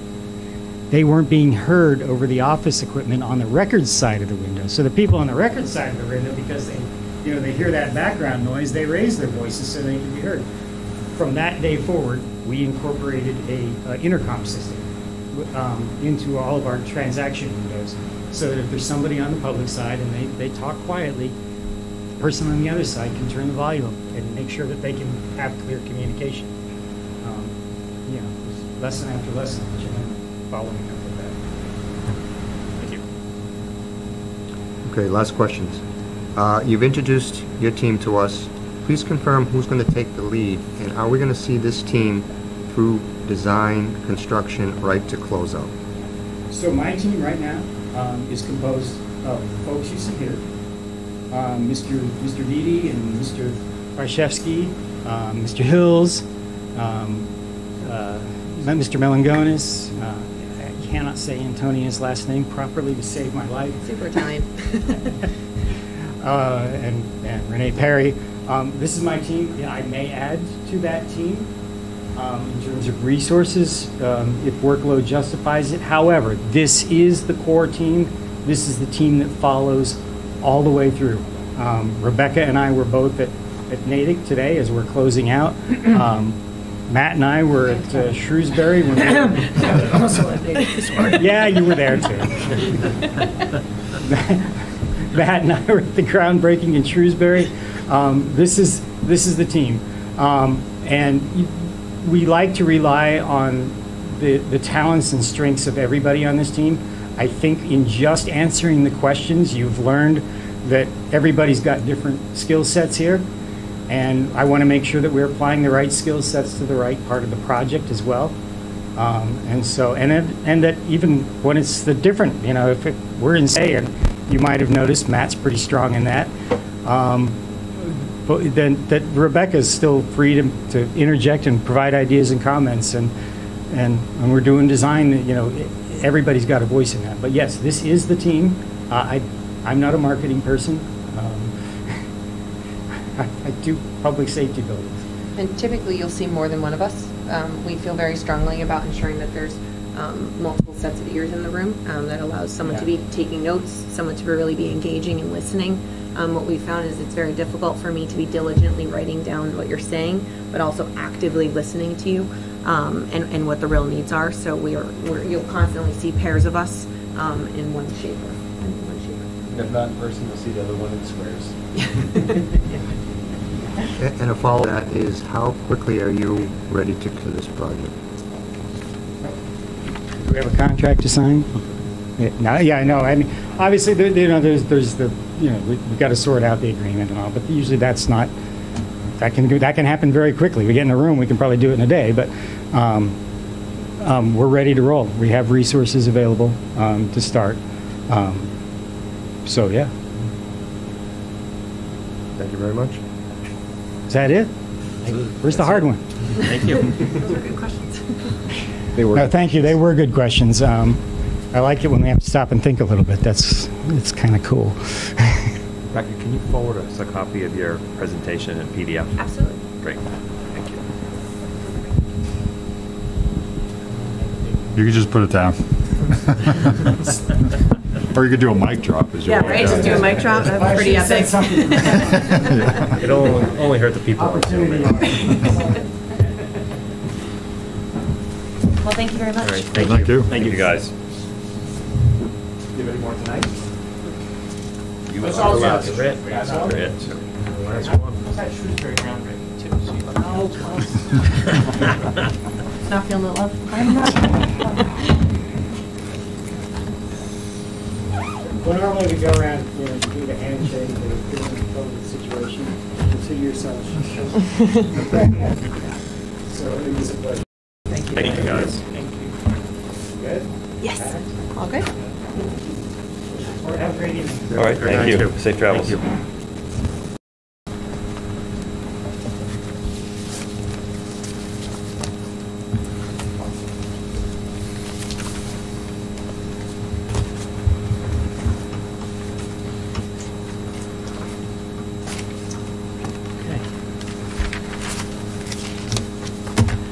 So, So, um, I'd be curious to know if, it- if if people want to discuss of the firms first, or if we should just um, rank them one through five and maybe try and narrow it down first and then kind of talk about them a little bit.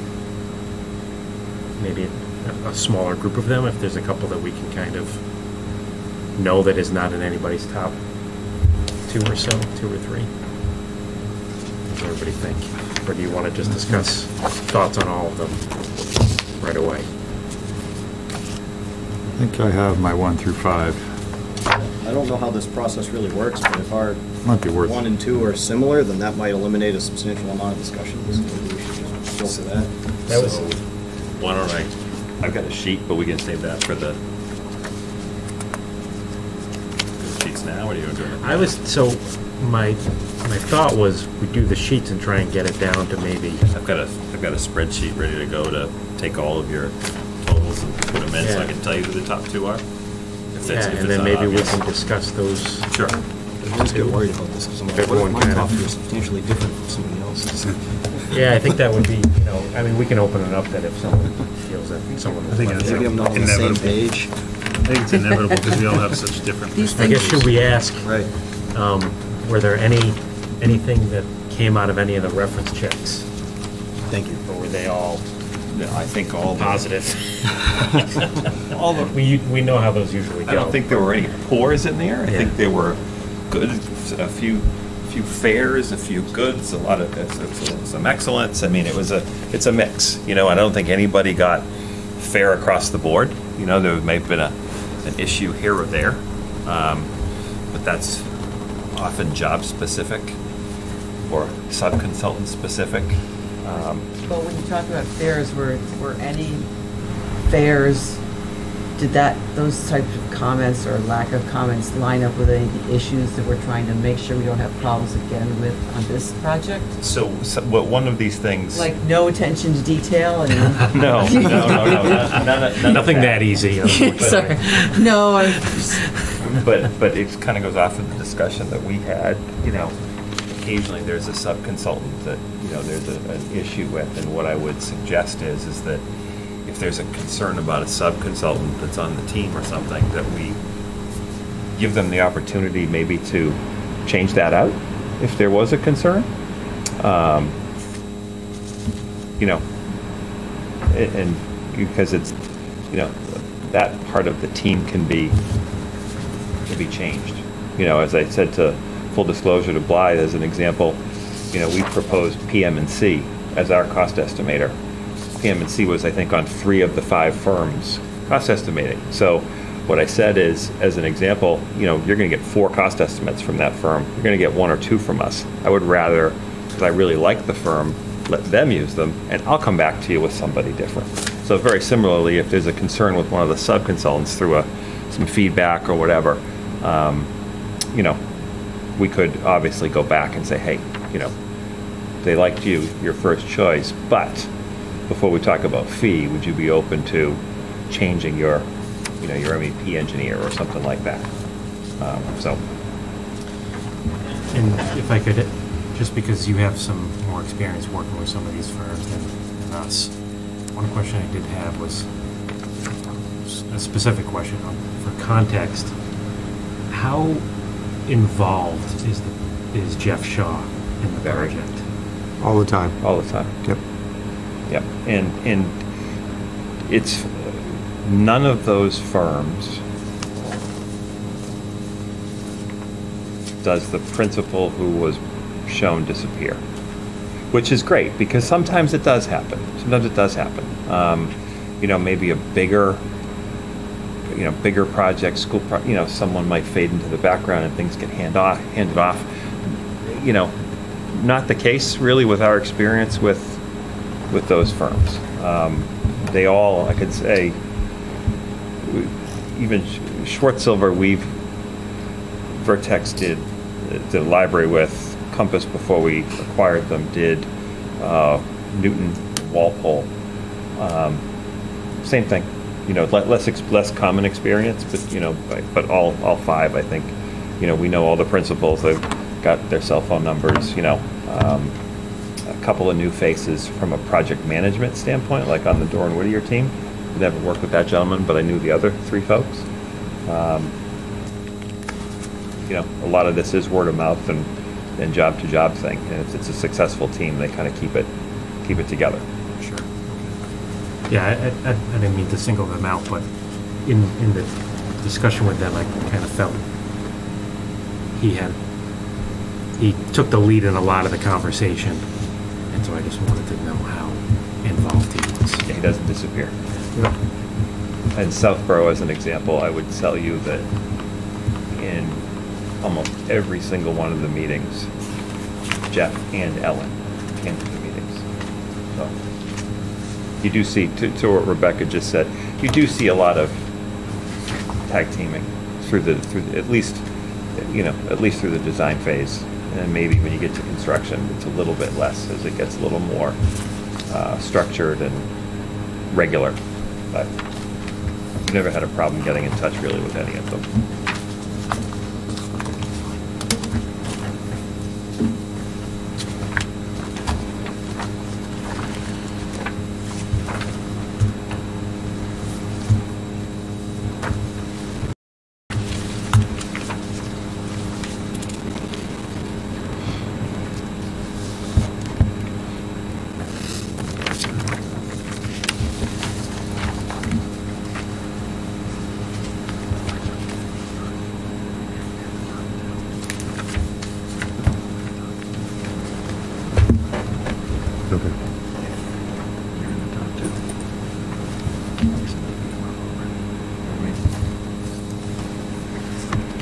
But I do think it's certainly pertinent. you know.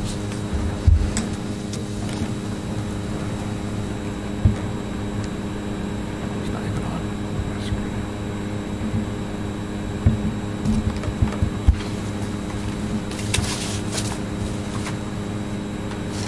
What's your- what's yours?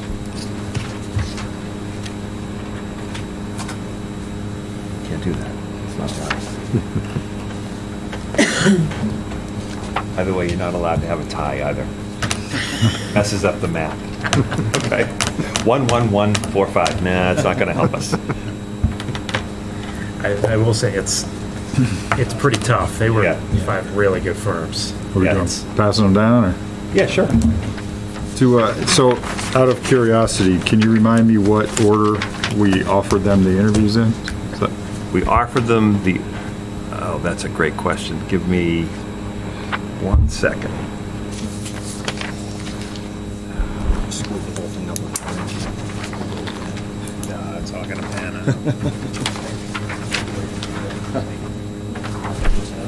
The order we offered them the interviews, the, the ranking at the end of the, of the hard copy scoring was HKT one, Tecton two, Dore and Whittier three, Schwartz Silver four, Context five.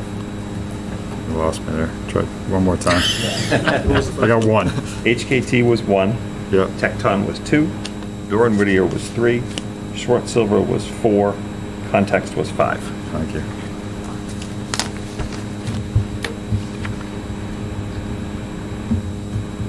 It's just like the Olympics, you throw out the the highest mark, and the lowest mark.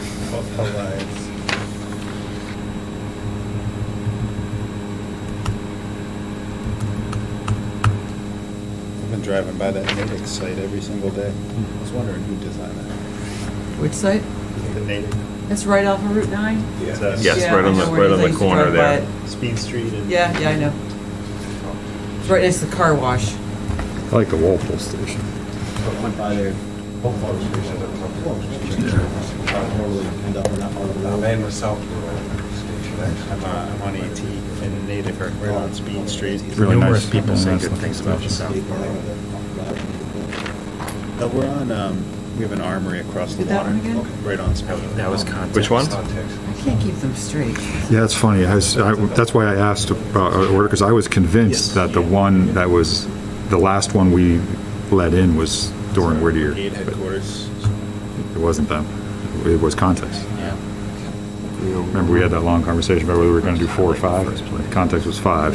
Eight years of guard duty. Kind of glad we did five, I think. Nice. I think That's tough. This one was voluntary, but uh, thank you. Now you just do whatever. State employees, so nice pay, you know, double pay. No, that's, that's the capacity, Sure. kind of help us with your question. How does it in the whole market?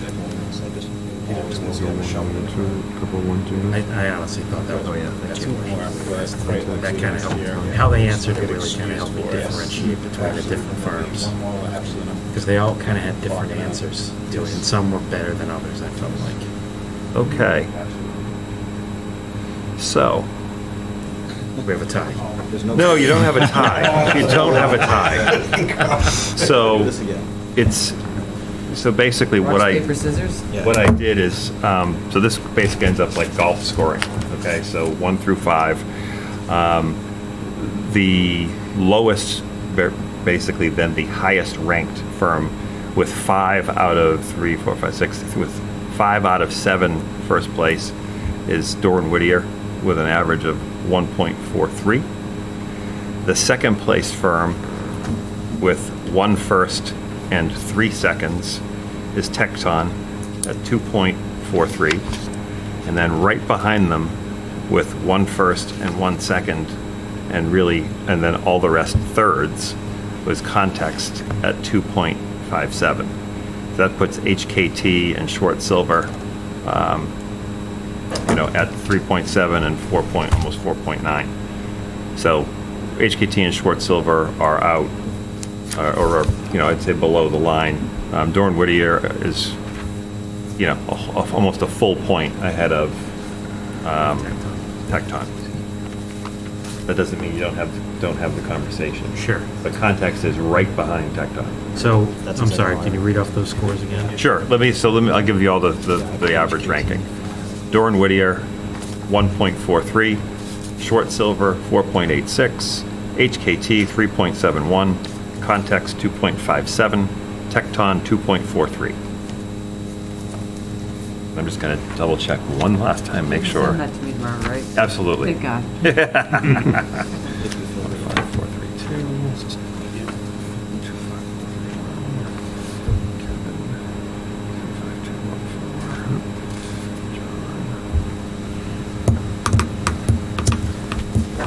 Well, um, I guess I'll, I'll give some, some input. Um,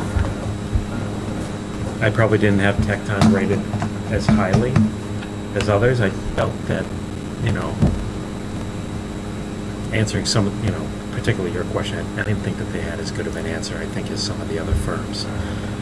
What I will say is, from my rating process of reading the RFQs to the interview process, Dore and Whittier definitely rose the most for me. I was pretty impressed with their interview. Um, That being said, I don't think we could go wrong hiring any of the top three uh, listed here. I guess, does anyone have a strong desire to go with someone other than Dore and Whittier? I ranked, I, I I guess I'm the one that ranked Tecton one and, and Dore and Whittier two, but it was a hard choice. Yeah. And maybe it's just because I saw them last and it was most fresh in my mind, which is, you know, why they do that. Um, I get that. Um, I did like this answer about dealing with the public and what to do. Um, I would be comfortable with either one. I'm just glad they came out one and two. He was the, I had said something to Bly previously, he was the only person to actually come at it and say, address it.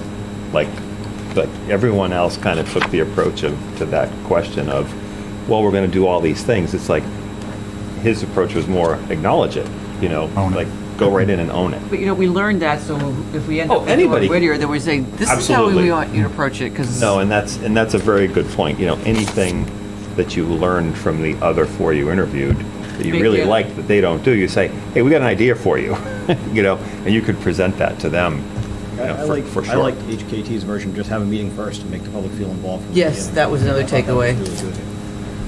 I like, um, you know, just to add to the, I really, you know, really think all of the firms could deliver a, a fabulous product at the end of the day.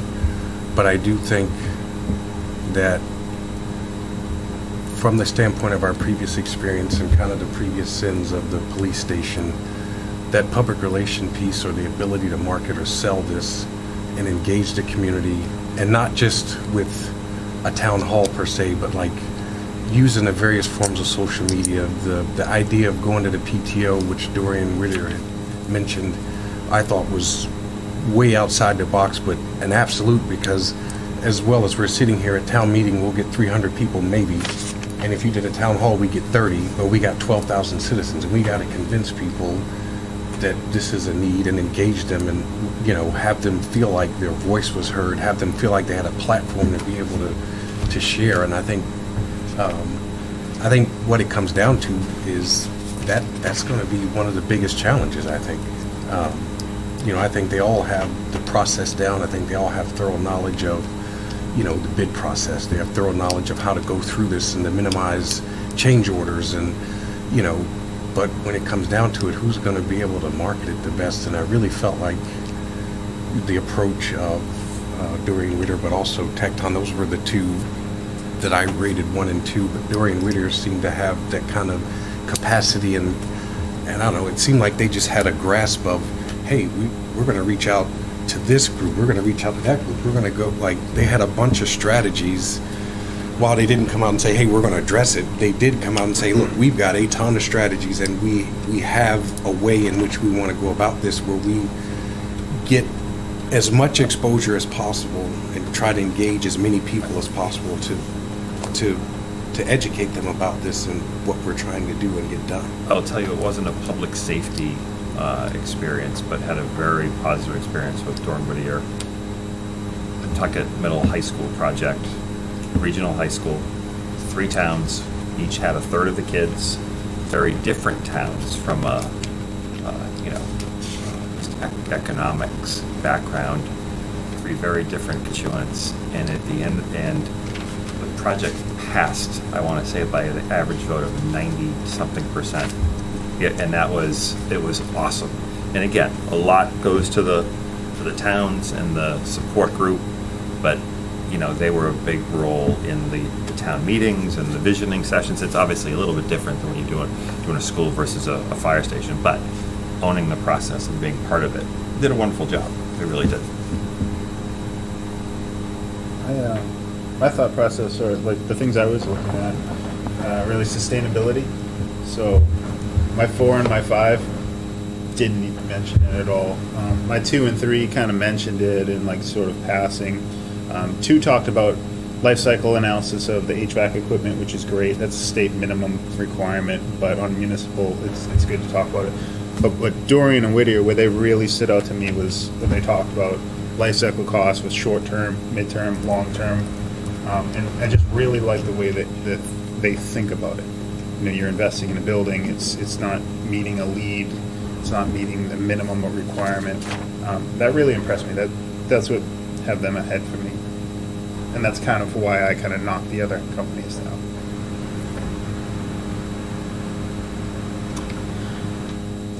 I'll throw my two cents in. I'll try not to repeat. Um, I, think Tecton, Dore and Whittier are head and shoulders above context. Uh, I, I think context is a smaller company, maybe doesn't have the resources that I think we think we need for this project. Uh, picking up on a lot of what the chief has said here as well. Um, and just some other sort of points of fact. Uh, make them what you will, but Dore and Whittier has done work here in town on both the middle school and the high school. Don't know if that's good or bad. Um, in terms of the architect's voice on the board, um, I thought their their breadth of architecture was a little bit more uh, detailed and probably Norfolk related uh, than some of the others. Uh, and it was the only presentation in which I sort of I wrote, you know, it was kind of impressive. I, I was a little surprised. Um, and some thoughts on Tecton. Um, I thought they gave the best, interestingly, gave the best group presentation because it was driven by one member, but I thought that member effectively tried to get the rest of the folks to respond, whereas some of the others had a very different approach to that it was either dictated, you know, it was, right now it's your turn, now it's your turn, now it's your turn, or it was a single speaker who dominated the entire thing. So I thought they presented as a team the best. Um,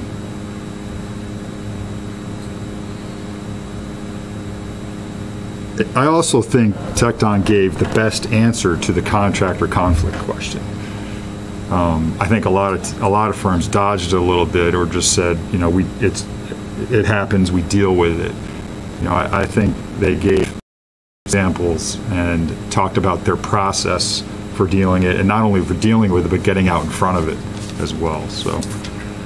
Um, yeah, So, you know, I, as I'm sitting here trying to decide between the one and two, I don't know, it's pretty, it's pretty tough. But I, I'll circle back to my first statement, which is, is I think, I think Tecton and uh, Dore and Whittier were both, I would have no problem cutting to two, I guess is my point.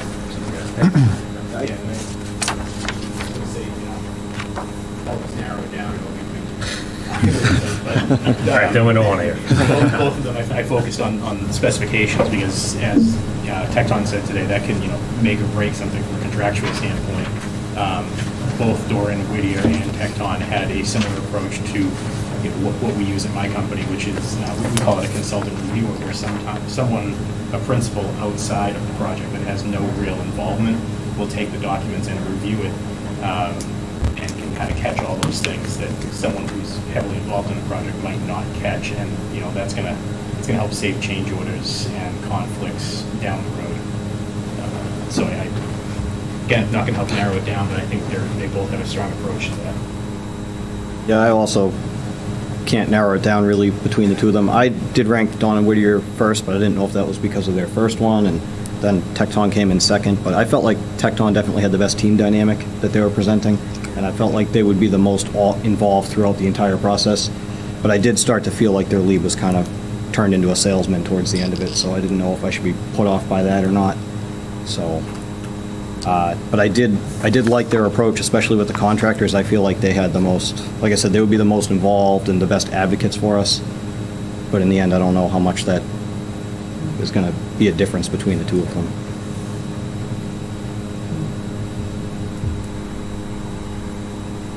Does anyone feel strongly Tecton or Dore and Whittier?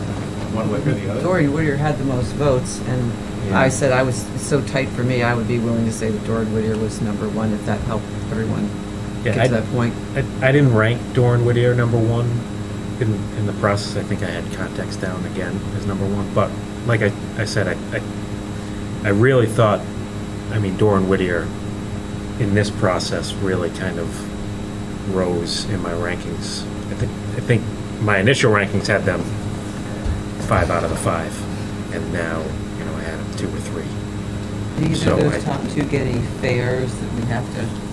Well, and I guess, break is a there any, tie? are there any other insights that you, that you have into either company that might split them a little bit? The the only thing, and I'll bring it up because they're in in second, we just had the uh, job in Natick, beautiful project, and the dales in that building are architecture, they're fantastic. I mean, like the little, little things that you wouldn't think about, you know, the way the floor turns out for cleaning, just certain things, great stuff. The issue we had on that job was the MEP consultant. Um, the, particularly the electrical. Uh, It was one of our, we sent it to, I sent it to uh, our own guy. He gave them the fare. Um, And it was under the document piece because of, because of the consultant. So that's really, I think, the only one that, that, that comes out in this, but that's the kind of thing that you could say, hey, we just lived this with you. Who do you propose instead? So if you really wanted Tecton, I would say you would allay that fear by saying, who's your other, you know, the- it's not always one consultant, that you always have someone else, so that everyone doesn't get the work. There's always, think, a a couple that they'll go to. Um, And I would have that frank conversation and bring that up and say, hey, committee liked you, but we have this concern. Um, But of course, we don't want them to bring in someone completely different that they haven't worked with. Sure. It's got to be Yeah. someone that they Definitely. have the history on. Or, or the consultant specifically, it was electrical that I believe we had the majority of the issues with. Um, That doesn't mean you can't ask for that person to not be on the team, to lead that team. You know, mechanical, electrical, plumbing, you know, usually it's, it's never the same person, those are three specific disciplines. So you could, I don't know who the person was, I don't know the name. I mean, I did kind of like that Tecton didn't show us a schematic or how they're going to position it on the site, and they said that they're going to approach the ad reno from a life cycle analysis as of just like, a, is the building salvageable or not? I felt that like that was a more thorough process, but, I mean, I, I know which way I'm kind of leaning on the ad reno versus new. I think we're probably all in the same boat there, so I don't know how much that really matters in the end. Okay, wait, you let that they bring to this kind of a compilation of everything they know from what's out there. And it's sometimes, you have to be careful, just because they went down a road to show you something, process hasn't started yet. This is them doing it without seeing you. I've seen that work opposite on an architect once coming to an interview, coming up, and it was for a library, and they said, look, this is something we could do. Turned off half the committee so badly, they didn't, they weighed on on the list, and it was like, guys, this wasn't the solution, it was just them showing you that they took what they saw in the community and showed you something. So something like that, if they're, you know, I think everybody we saw acknowledges that there is an ad rental potential and there is a new potential. Mm-hmm. How that plays out, that's yet to come. They've got to sit and talk to chief, talk to you and say, you know, the specifics about how do we make it work, how do we make the facilities operate. That's, then after they talk about that, they'll be able to actually show, show us the, the different phasing options and, you know, we'll make that decision in this SD process. I don't think that's a very long conversation. Just being being candid and honest. Well, but they don't know till they get here. There Right, might they- be right, some right. Yeah. burning love for this building by the community that we all don't understand, and if we we decide to can it, people are gonna be furious. We had. I don't know. Well, I- I- I don't- Yeah, I mean, I, to. Changed the design because the town people, the residents, wanted to keep a building that we deemed Right, it historical. happens. And it it changed, it changed the location of the building. Oh, We're not changing the location. But I mean, it- We're we're getting off topic here. Yeah, mean, to, to the, you know, of a lot of the questions asked and, and the answers that were given, you know, we, we need to educate the town as to why we're doing what we're doing. And, I mean, I, I think a lot of us here are thinking we're gonna come out and the renovation doesn't make a lot of sense, but, I mean, I'm in fashion and every job I go into where someone comes in with a building, they're like, well, renovating is cheaper than building new. And I can't remember the last time I went into a project where a renovation project actually, where we finished it and said, you know what, that was cheaper than if we'd done it new. It it always is like, man, it ended up being just as much, if not more. Right, so it, again, that's just kind of like that perception that, so it- it might not be the right thing to do, but we have to, to their point here, we have to prove and get the data behind why it's not the right thing to do. For um, sure. And, and move on, I think so. that'll help us too, in the, the- from the transparency part, and also from the, the standpoint of being able to educate the people, our citizens that are gonna be voting on this, if they have an understanding as to why, hey, Renault does not work because of X, Y, and Z, it's much easier to justify the new than just to say, oh, we're doing new. And then be like, well, why didn't you look into, so I think looking into it and getting the information is critically important. I think it it helps the overall success potential for the And that's part, a big part of the process in this first phase. Especially to show like, no, we did look at it and it is not cheaper. If they're gonna look at cost and us having to go ask for money. And say, no, it wouldn't have been, wouldn't have been cheaper and it wouldn't have been better. That's why the community, all of them have talked about community outreach to a certain degree. And you don't wait till town meeting to answer that question. Like, this is a very, in my mind, very methodical approach to, you know, the new designer comes on board, starts to chew on stuff, starts to come up with add, new, whatever. That first public information session is about new or renovate. And in that way, when you start on that path of, let's say it's new, you put away Reno. It's gone. Like, we're going to talk about it again at town meeting, say we addressed it. As you recall, we had this community information session and we put all this stuff out there and here's why. And you can revisit it then, but, you know, you're to, there's multiple forks in the road in this process. And once you go, you commit, you know, you got to go on it. So, so don't wait to tell folks about that. Tell them about it as the decisions are being made or getting close to being made. Hey, do you have any feedback on that? get some questions, boil that into the, the rest of the study, then people at least feel listened to. Hey, they answered my question, you know, and at the end of the day, we all end up at the same place anyway than where I think the chief's going with it right now, but at least, at least you've shaken it out, you know?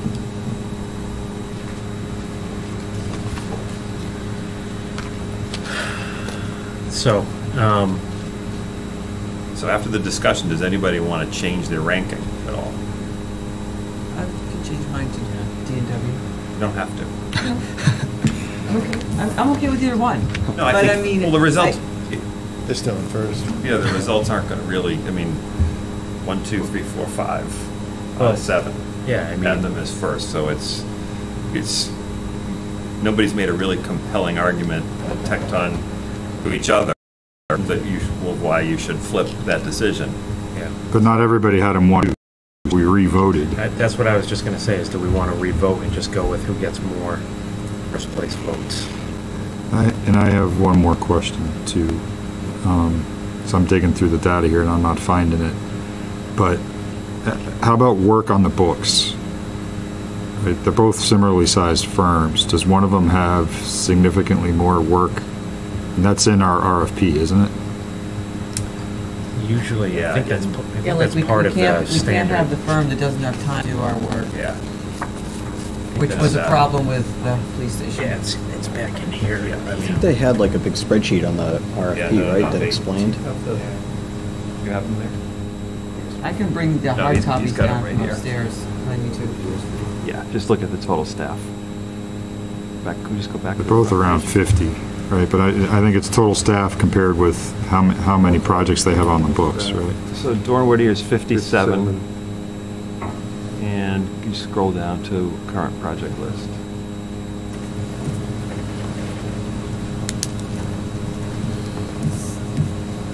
So, now that you bring that up, Aaron, um, Tecton did have kind of an interesting answer to Steve's. They were the only one that really kind of expanded on the design team, and they did kind of throw out, well, we might bring in more people if, if the workload requires it, which makes you think they might be thinking a little bit that they might need to bring in more people, you know? Yeah, and and that gets to my, my comment about that either one of them is big enough that they could do that, whereas I- I'm not sure context is, right? That context didn't have that bench. You want to do completion. Yeah, I, I think, And is are everyone on the gonna- same page? We've narrowed it down to two, at- at least. That's pretty awesome. Yeah. Yeah. I mean, I think it's pretty good for a 15-minute discussion, right? Yeah. Like I said, I mean, I'll just throwing numbers out. Yeah, right? it was pretty close for me between all of them. Well, it's a to be well-matched honest. committee. If individually, Yeah. we all came to similar conclusions without even having to discuss it. They all go this smoothly? Hopefully, that's gonna, Yeah, I that's mean, gonna carry so- us through the, uh, So interestingly, The I, tough I mean, I was, decisions. I was kind of writing this out. So I have what my rankings were, the RFP rankings, and then what the math came out to, right? And it was, um, it was one, three, one, and two, two, two for these two firms. So I mean, they were clearly our two favorite firms from all, all three measure points. So. Six, seven, including the house doctor? All right, now if you can go to the... Looks like Dore and Whittier's got six or seven ongoing projects, two of which look to be house doctor contracts, so. Small House doctor.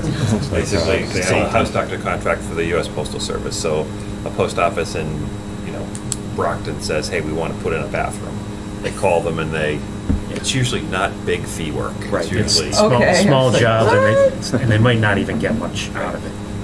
We do- Okay. We start all the time and never get a phone call. that's not my world, I'm sorry. I- They're gonna, The state's contract, state agencies use it all. the they're gonna, they have a It's like ongoing, free cash in world. A little bit. they also have the Because, ongoing because it's Boston public Fire work Station, which and closes out. Negotiating the contracts are so difficult, it Supposedly. takes such a long time. It doesn't make sense to negotiate all of that paperwork every time you want to pick a new, a new carpet. I would Yeah. think along So what those they do lines, is that they was get kind of house like, doctor what are the teams team so that if dynamics, they wanna pick a attention to carpet, they detail, just like, say- Did anyone clearly miss the mark? We'll, for a thousand dollars, you know, pick a new carpet. Okay, thanks. I learned something new today. Yeah. Glad the short solar wasn't up there, because I was put off by that architect. It's actually not for thousand dollars, it's for Oh, whatever. sure, sure, it's- sure. It's for whatever your established Right. billing rate is. Right. Whatever billing You rate have an we established to. contractual relationship, you just might do something different. Oh, different. yeah. This this week it's carpet, next week it's a bathroom. Yeah, exactly. Got it. DCAMM has a two and a half million dollar house doctor contract. Yeah, I was worried about that, like, When I Do they for- let the whole municipalities week. have I house was like, doctor man, what if contracts? they, I think so. Oh, yeah. what if people know all about the architects and I really didn't it like goes through a board, and the board then selects what agencies or what firms are on the house doctor contract, so it goes, it goes through like that. so I'll give you the numbers. So Yeah. Dore and Whittier has 57 architects They currently have 17 active projects totaling 387 million. Okay, I can speak to, as an example, one of the jobs we're working on with them right now. The construction is 118 of that millions, and there is one person who's overlap, who overlaps on that team. What's Gio- that project? Giovanna, that's the Pentucket Middle High School project. Giovanna does, is doing the furniture procure, design and procurement for that. So that's that. And then Tecton is 50 people. They have nine active projects uh, worth 93 million right now. And what is, do you, who has more fire stations overall, do you think? Or they equally matched? I think D and W had more. I'm just curious, is one done Tecton more only fire had like stations four or and- five Yeah. true fire stations on there. Fire stations during winter it definitely has one. Yeah, Okay, well, that's Yeah. compelling. They keep getting work. right? And they did Medfield, they were Medfield, I think. Yeah. They did Medfield. um, there's another one, uh, Carver's is beautiful. Carver's is one of the nicest fire stations I've ever seen. Uh, Westwood, Really nice. Westwood. Westwood Center. Oh, they solved, they solved the Westwood problem, right? Because Is- they, Islington Center there. Yeah. no, or was it Dedham where that one lost and they had to, Dedham, Dedham. they're also doing Dedham They're Public doing Safety Dedham, right yeah. now. We're on that one with them too. So between Pentucket Okay, and that so- job, that's almost 200 million of the 380 something. And it's, again, the Dedham team is no, but they came in when nobody there. Dedham, somebody else had screwed it up and kind of helped pull it back out of the ashes, wasn't that the one? Where they, they, somebody, they couldn't get a town meeting vote I think it was. And they had Yeah, to come initially, back I think and- we had to go back for 10 million That, dollars. that was Yes. Vertex's interview. Oh, sorry. So many interviews. We went back. We, we came in after. That was their selling point. Sorry. We can only up, hire one start again. person on that. That's how impressive it was.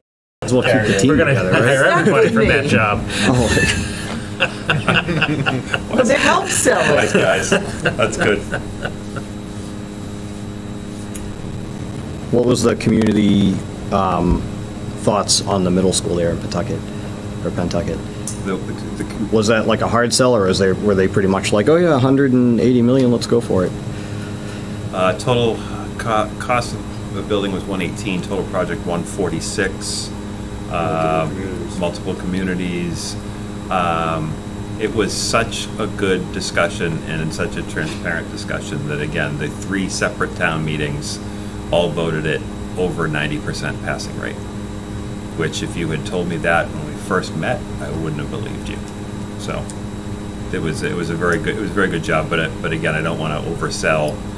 Gordon did their part, but the, everybody did their part. I mean, it was really one of the most successful campaigns I think I've ever seen, which is great. I kind of generally think education is an easier sell than fire protection, so. There's no question.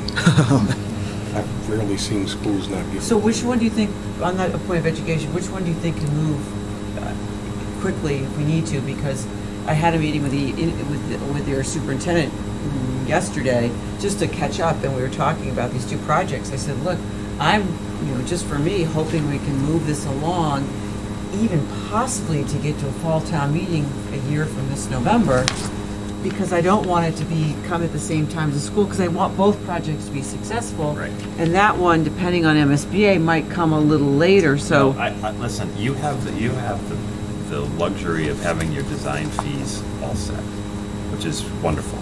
So to design a building like this in a year is doable. Should be, should be doable. And I would tell you that either of them could do it. Okay.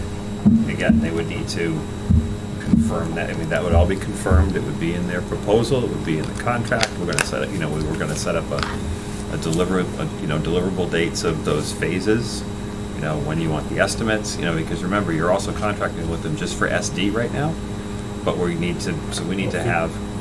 Feasibility. Feasibility, Yeah. just feasibility. Yeah. Yes. Excuse me. So, keeping them moving will be largely on this committee to keep them moving. You know what I mean? So to lay out the pricing and not lose a week every time we do a transition.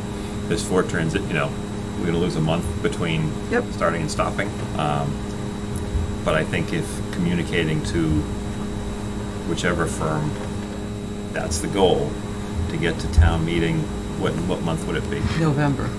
Which is great, so if I would tell you if it's November, I want, I want you to go to town meeting with bids in hand.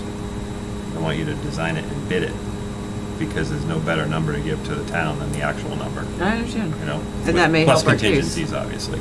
It definitely helps case from a fuzzy math standpoint. We're gonna need it in this case. Huh? We're gonna need it. Oh, yeah, for sure. How do we know the contractor's not gonna charge us more? Well, aside, from, well, here's, we have a contract for this, and The here's. police station, they told us it was gonna cost X, it ended up costing They Y. haven't finished design. And then, and we made these decisions based on this, we gotta do it different this time. If, uh, if D and W back and their dates are wildly outside of our scope, does that, can, are we allowed to go ask uh, Tecton to see what theirs are? Yeah, so the way this works is. I'm just ignorant of the process, I'm You sorry. have just, you- you're making a decision purely qualifications based. And then you solicit a cost proposal from them. And if in that cost proposal, their, part of that is their schedule. If they say, they say, Justin, we can't, we can't get a job ready to bid until, you know, January of '23. Well, obviously, that's gonna cause problems for us. So that comes out in, in this part. It's Um, not impossible, it's just that, you know, we're just adding a no, town no, meeting. No, but- no, listen, if that, but if that's the goal, and again, that's something new you just learned, so we would, you know, if that suddenly throws them off and go, man, we can't do that, we, we want to know that early, because then if you can't reach an agreement to terms with the, the highest ranked, you go to number two. Can't get to number two, you go to number three. We've, I don't think we've ever not been able to come to agreement with a number one but it can occasionally happen for something just like that. Resources, if you were asking for something within five months, like something crazy, not obviously for a brand new building or some shortened duration, you know, maybe somebody would pull themselves out and go, we just got another job, we really can't do it. But I would bet most, most firms are gonna be able to work with your schedule, because that's not an unrealistic schedule to try to go to bid a year from now. You know where it's going, you know the lane, like, you know what I mean? If we were trying to do site selection and all of that too, different story. You know where this building is going. Um, And that's a big plus, and you own it already too.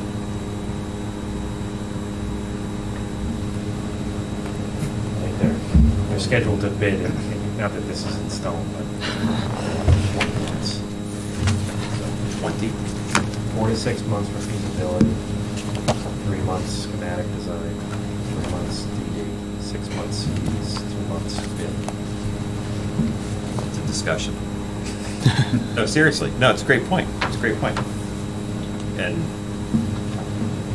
you know, but again, that schedule's based on what was given to them. If, if we had put in the RFQ that you need to be ready to come to, come to dance with the bids in hand by fall of next year, I'm gonna tell you that probably they all would have applied and you would have interviewed all of them and they all would have probably told you the same, that they could get it done. Um, So I kind of feel like we could sit here and continue to talk about the two of them, or we could just vote again and go with the math. I was gonna say, let's- Is there a football game on? Uh, there is, but that's, that that doesn't have anything to do with. So I was gonna uh, suggest we just bid and and go with who gets the most number ones. So let me, let me just do a round two here with just those two. Should be like Survivor. Post it. I gotta figure out how I'm gonna do this one or two. One and a half. No.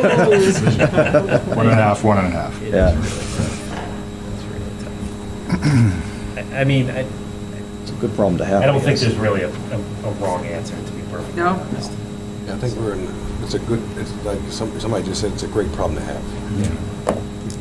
Because you have the capacity, I'm the voting. depth. All right, I'm gonna go through this in order that I have your names. Okay, Chris, who's one? Dore and Whittier. Okay, Kevin, Dore and Whittier. Aaron, Tecton. John, Dore and Whittier.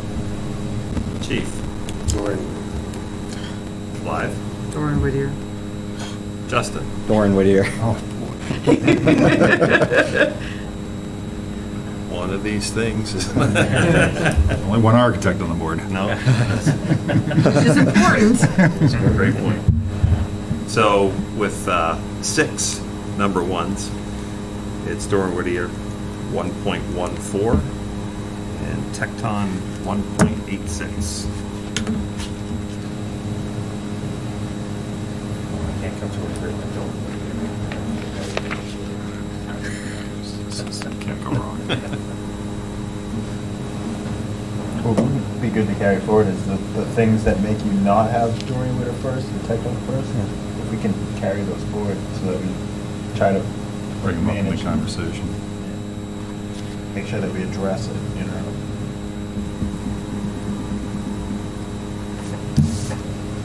Like the point about the community engagement where some of them had some really good ideas. I think that's it's good to keep in mind.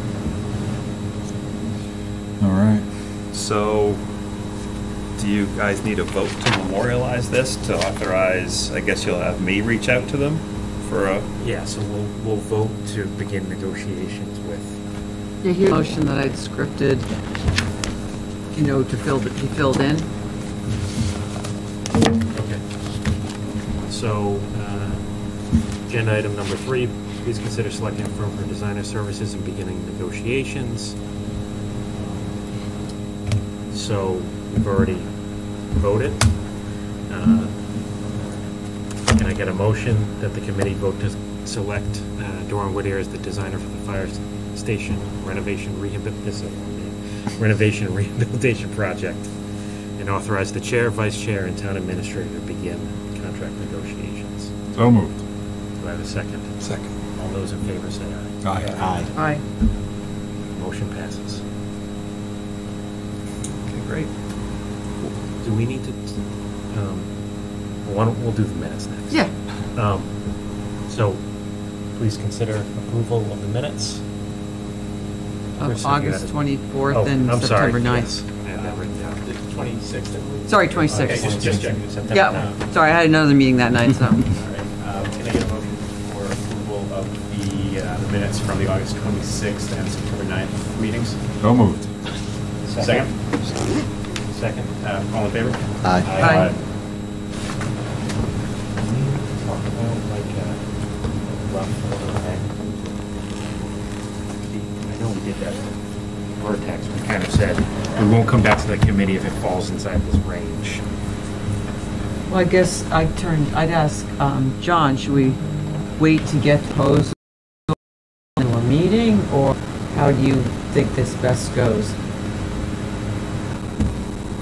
This is gonna come down to, you could ask all five of them proposals, and you would get an apple, an orange, a grape, a grapefruit as far as services that they would include. I think you first want to see if they have any questions about documents that we have, because you don't want them pricing things, you know, if you already have a survey or those kind of things, pricing things that you already have information on. So what I would say is, we notify them, give them the heads up, put a phone call, see if you have any questions, you know, if you have any questions, and then let them, let them go, and let's see what they, you know, let's see what they get back. As you know, if you try to, you know, where's the FSSD line, what percentage of the fee, you know, probably better getting it in front of you, um, and then having a quick meeting to talk about it if we have to, to finally, you know, we- can check it against lots of data as far as what the FS portion of a total potential $10 million project, you know, if you're $10 million project, it's probably ultimately around a million dollar fee. Okay, what percentage of that million dollars is feasibility? Is it 10%? Is it 8%? Like, Are we in the ballpark? are we in the ballpark? Right? Yeah. So, I trying to think how to say this. Well, we, didn't- as of right now, we don't have another meeting planned, right? No, no, I mean, we would meet the second um, Monday of the month, but we're, you know, that's already passed. And I had, I had naively hoped we could get to the October 5th Select Board meeting with a contract and a here's who we're hiring. That might, that's, I mean, look, uh, you know, is, is ten percent, like, is a hundred thousand dollars a, a a not-to-exceed number that the committee wants to entertain to see? Well, I mean, That's do we where need- we were headed, right? So I mean, that's kind of how we did, I think that's, we kind of came to that vote. As long as it was under this number, we were fine Yeah. with you guys. We never had that conversation for this. Yeah, So I right. think what we're saying, maybe, maybe we need to have that conversation now, so we can all vote. Yeah, I mean, you know, you saw in, in the slides, you know, ten to twelve, you know, 10, 10 million. But that's what we put in the RFP. No, right, but, We but just the, what di- just the difference in fee though. Right. i- At, at, at ten percent, never mind eleven, nine, you know, that ten percent is either a hundred, um, you know, a million or one point two million. Ten percent of those numbers is either a hundred thousand or a hundred and twenty thousand, you know, is hundred and twenty the number? So if we get a proposal for under that, this committee's okay Right, with so that, let's- like that's the. So let's, let's talk that out, right? So let's just make sure we're all on the same page there. We're, we, we've said we think this is between a ten and a twelve million dollar project, right? So, you know, ten percent is, is the soft costs, I guess, is what we're saying. Architect's fee. Architect's fee. So, um, are, are we negotiating the entire fee now? No, and that's, that's the tricky part. Just the What- feasibility. What what percentage of that entire hundred percent of the architect's fee is earmarked for that little piece of feasibility study in the beginning? Right, but we know that that Probably. piece is pretty important. It's Correct. important, but isn't it also the lost leader, like they want to get the rest of the job, so they're gonna, besides, besides the, the testing they need to do, maybe hi- having other people Right, there's the do. basic service, and then the reimbursable piece, right? Yeah, so it isn't ten percent at the beginning, but it really needs to be during SD through the rest. Right, But if we, but if we said, if the, if the fee request comes in at one to one point two million or lower, then we're good to negotiate. that Well, it- it's not gonna come in that amount, because it's gonna be ten percent of ten percent. Because we're only negotiating Right, feasibility. Whatever the number is, Yeah. right?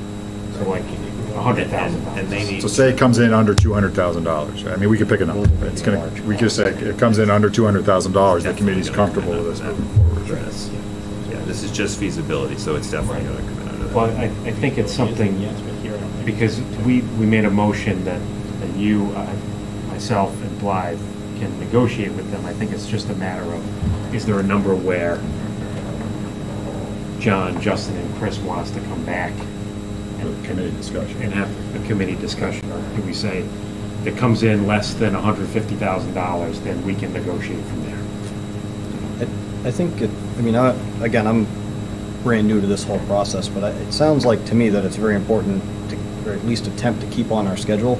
So if we're looking, uh, did you say it was on October 5th? The selectmen meet the fifth and nineteenth of October, so I'm trying to hit those dates, which really only gives us next week to negotiate this, and that's not much time. We have, they haven't even seen, they've seen a draft of the contract, but we don't know if they have issues, you know, we don't know any of that. But here's the thing, the s- statutorily, really, you're not supposed to negotiate the terms of the contract. The contract is, kind of is what it is. You put it out there and they saw it, and they're really supposed to just sign it. If they had an issue with it, should have brought it up. There shouldn't be a lot of, Okay, they, they may, good. they may suggest, hey, could we look at this, and maybe counsel has to look at a term or two, but thi- thi- this is not a negotiated contract. The con- Okay. That's, that's part of the public, public procurement part of this, you know? Um, Aside from making sure the scope is. Scope's the most, right, scope's really important, but the, the, the the legalese should be set already. Yeah, I Counsel mean, looked at our that. new counsel made one little edit to it on the warranty, but that's it. Yeah. I mean, I don't have a lot of reference to understand how much feasibility or any of these things should cost, but to me, the hundred and fifty thousand doesn't seem outrageous for a comprehensive study of the project and how it's gonna go, and I, I think it's worth expending that equity with the community to do our due dil, due diligence through this whole process. Oh, and we're not gonna, Yeah, Mike? we're not giving them that, I mean, they may Of watch it course, on yeah. YouTube, but, Right. you know, you know, ultimately, give us your proposal, and let's see that they understand that they're aiming for this bite. That next bite, SD, is real, where we're going to set kind of the wheels in motion as far as this is a twelve million dollar job, or this is a, or construction cost, and all the rest of the costs on top of that.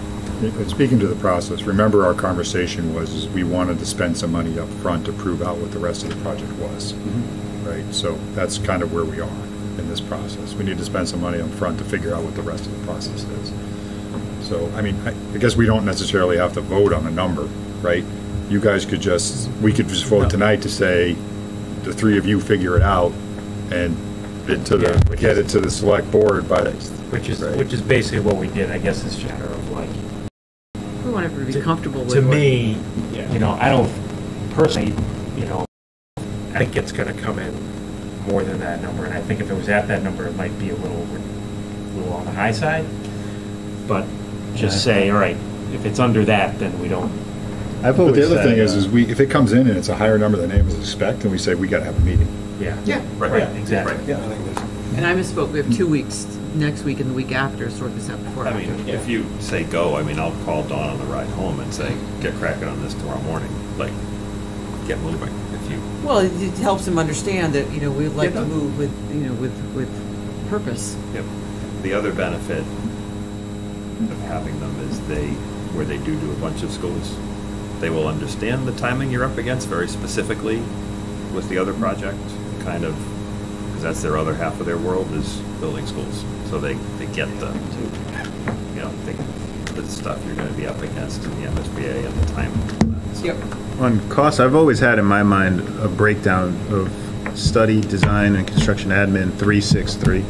And it sounds like we're gonna be way under that. Estimated construction cost, three percent. I think we're gonna be way under that, so I'm fine with you guys. Well, three, three percent, six percent, Yeah. three percent? I don't know if that's outdated or where that even came from, but um, I've always had that in my head, and it sounds like we're gonna be nowhere near that, so. Yeah, I mean, I think when you look at that first three percent, it's probably also Schematic. schematic as well. So we're, we're, we're doing the, it's usually FS slash SD. You guys broke it down to, just to make sure you've got the right team here, FS only. And then we'll give them the rest, and then after SD, you're gonna give them all a design, you know, and then CA is contingent upon approval by the, by the town. Okay, so 150 would probably be like, Because, because you're, you're gonna have subs, like, some, some of their subs, MEP structure, they're only gonna come and look at the existing building to write maybe a report on. it. They're not gonna really They're do gonna do an any existing work. condition survey. They're not gonna do any design work in this phase. Adequacy of the systems, that sort of stuff, to help you make decision of Where's the ledge? use it or burn it, and where's the, le- and that's the other piece, there's the basic services that, and then there's the subcontracted, st- I shouldn't say subcontracted, the, we gotta go get a driller to do this. They'll own the geotech who will interpret that, but the actual work of the, the drill rig, is it two holes, is it three holes, is it six holes? That may be an evolving number depending on what they find when they get out here. Test pits, how many test pits, that kind of thing, and please chime in if I'm, if I'm mis- misspeaking. No, no, you're absolutely right, and I, I was even gonna ask at some point, you know, are we okay, you know, eventually, once we get that rolling, to like recommend things that we know to them as far as other method, methods of investigation to look for the ledge specifically? Uh, Oh, I think anything is fair. I mean, that's, as I said, that's why the guys are on the, like, if there's feedback to give these guys, give it to them. Listen, the reality is that if you like them, you know you're building something there. So spending more money now, like, if, if suddenly the geotech data number became higher in FF, don't get, don't get locked into that it's in feasibility. Oh, no. No, that's data you're gonna use for the duration of the, of the design process. So even though maybe it makes a heavy feasibility phase, dollars, the data is the data. You're going to use that data, FS through design development, through construction documents. You, you've got it and you own it. So there's, there's, there's cheaper methods because the bedrock's so shallow to scan, scan the site, or there's, you know, corners of it and, and get depth, you know, across it rather than needle, needle in a haystack all over the place. So, so do we need to vote to figure out the, the process here to get to a contract, or is that, are we set on I that? think you're set. I just think we, giving us them feedback for three of us of where we might end up is what, I want to make sure just everyone's comfortable with that. Mm-hmm. Yeah, I think in the interest of time to, you know, to get it rolling, that, that's the way to go. I Like you said, if they come back with something like wildly inappropriate for a fee, then, you know, we'll, we'll discuss it at that point. I don't, We have a cl- really close number two. don't worry, I'll tell them that too. I don't, I don't see it happening either. I, I think we're gonna only four tenths different. We're done, I'll make a motion, or ask for a motion to adjourn the meeting. So moved. Second? Second. Aye. Aye. Guys, just, just for the record, for Blythe, how about you, can you guys give me all of your score sheet, or your comment sheets, right? We want to keep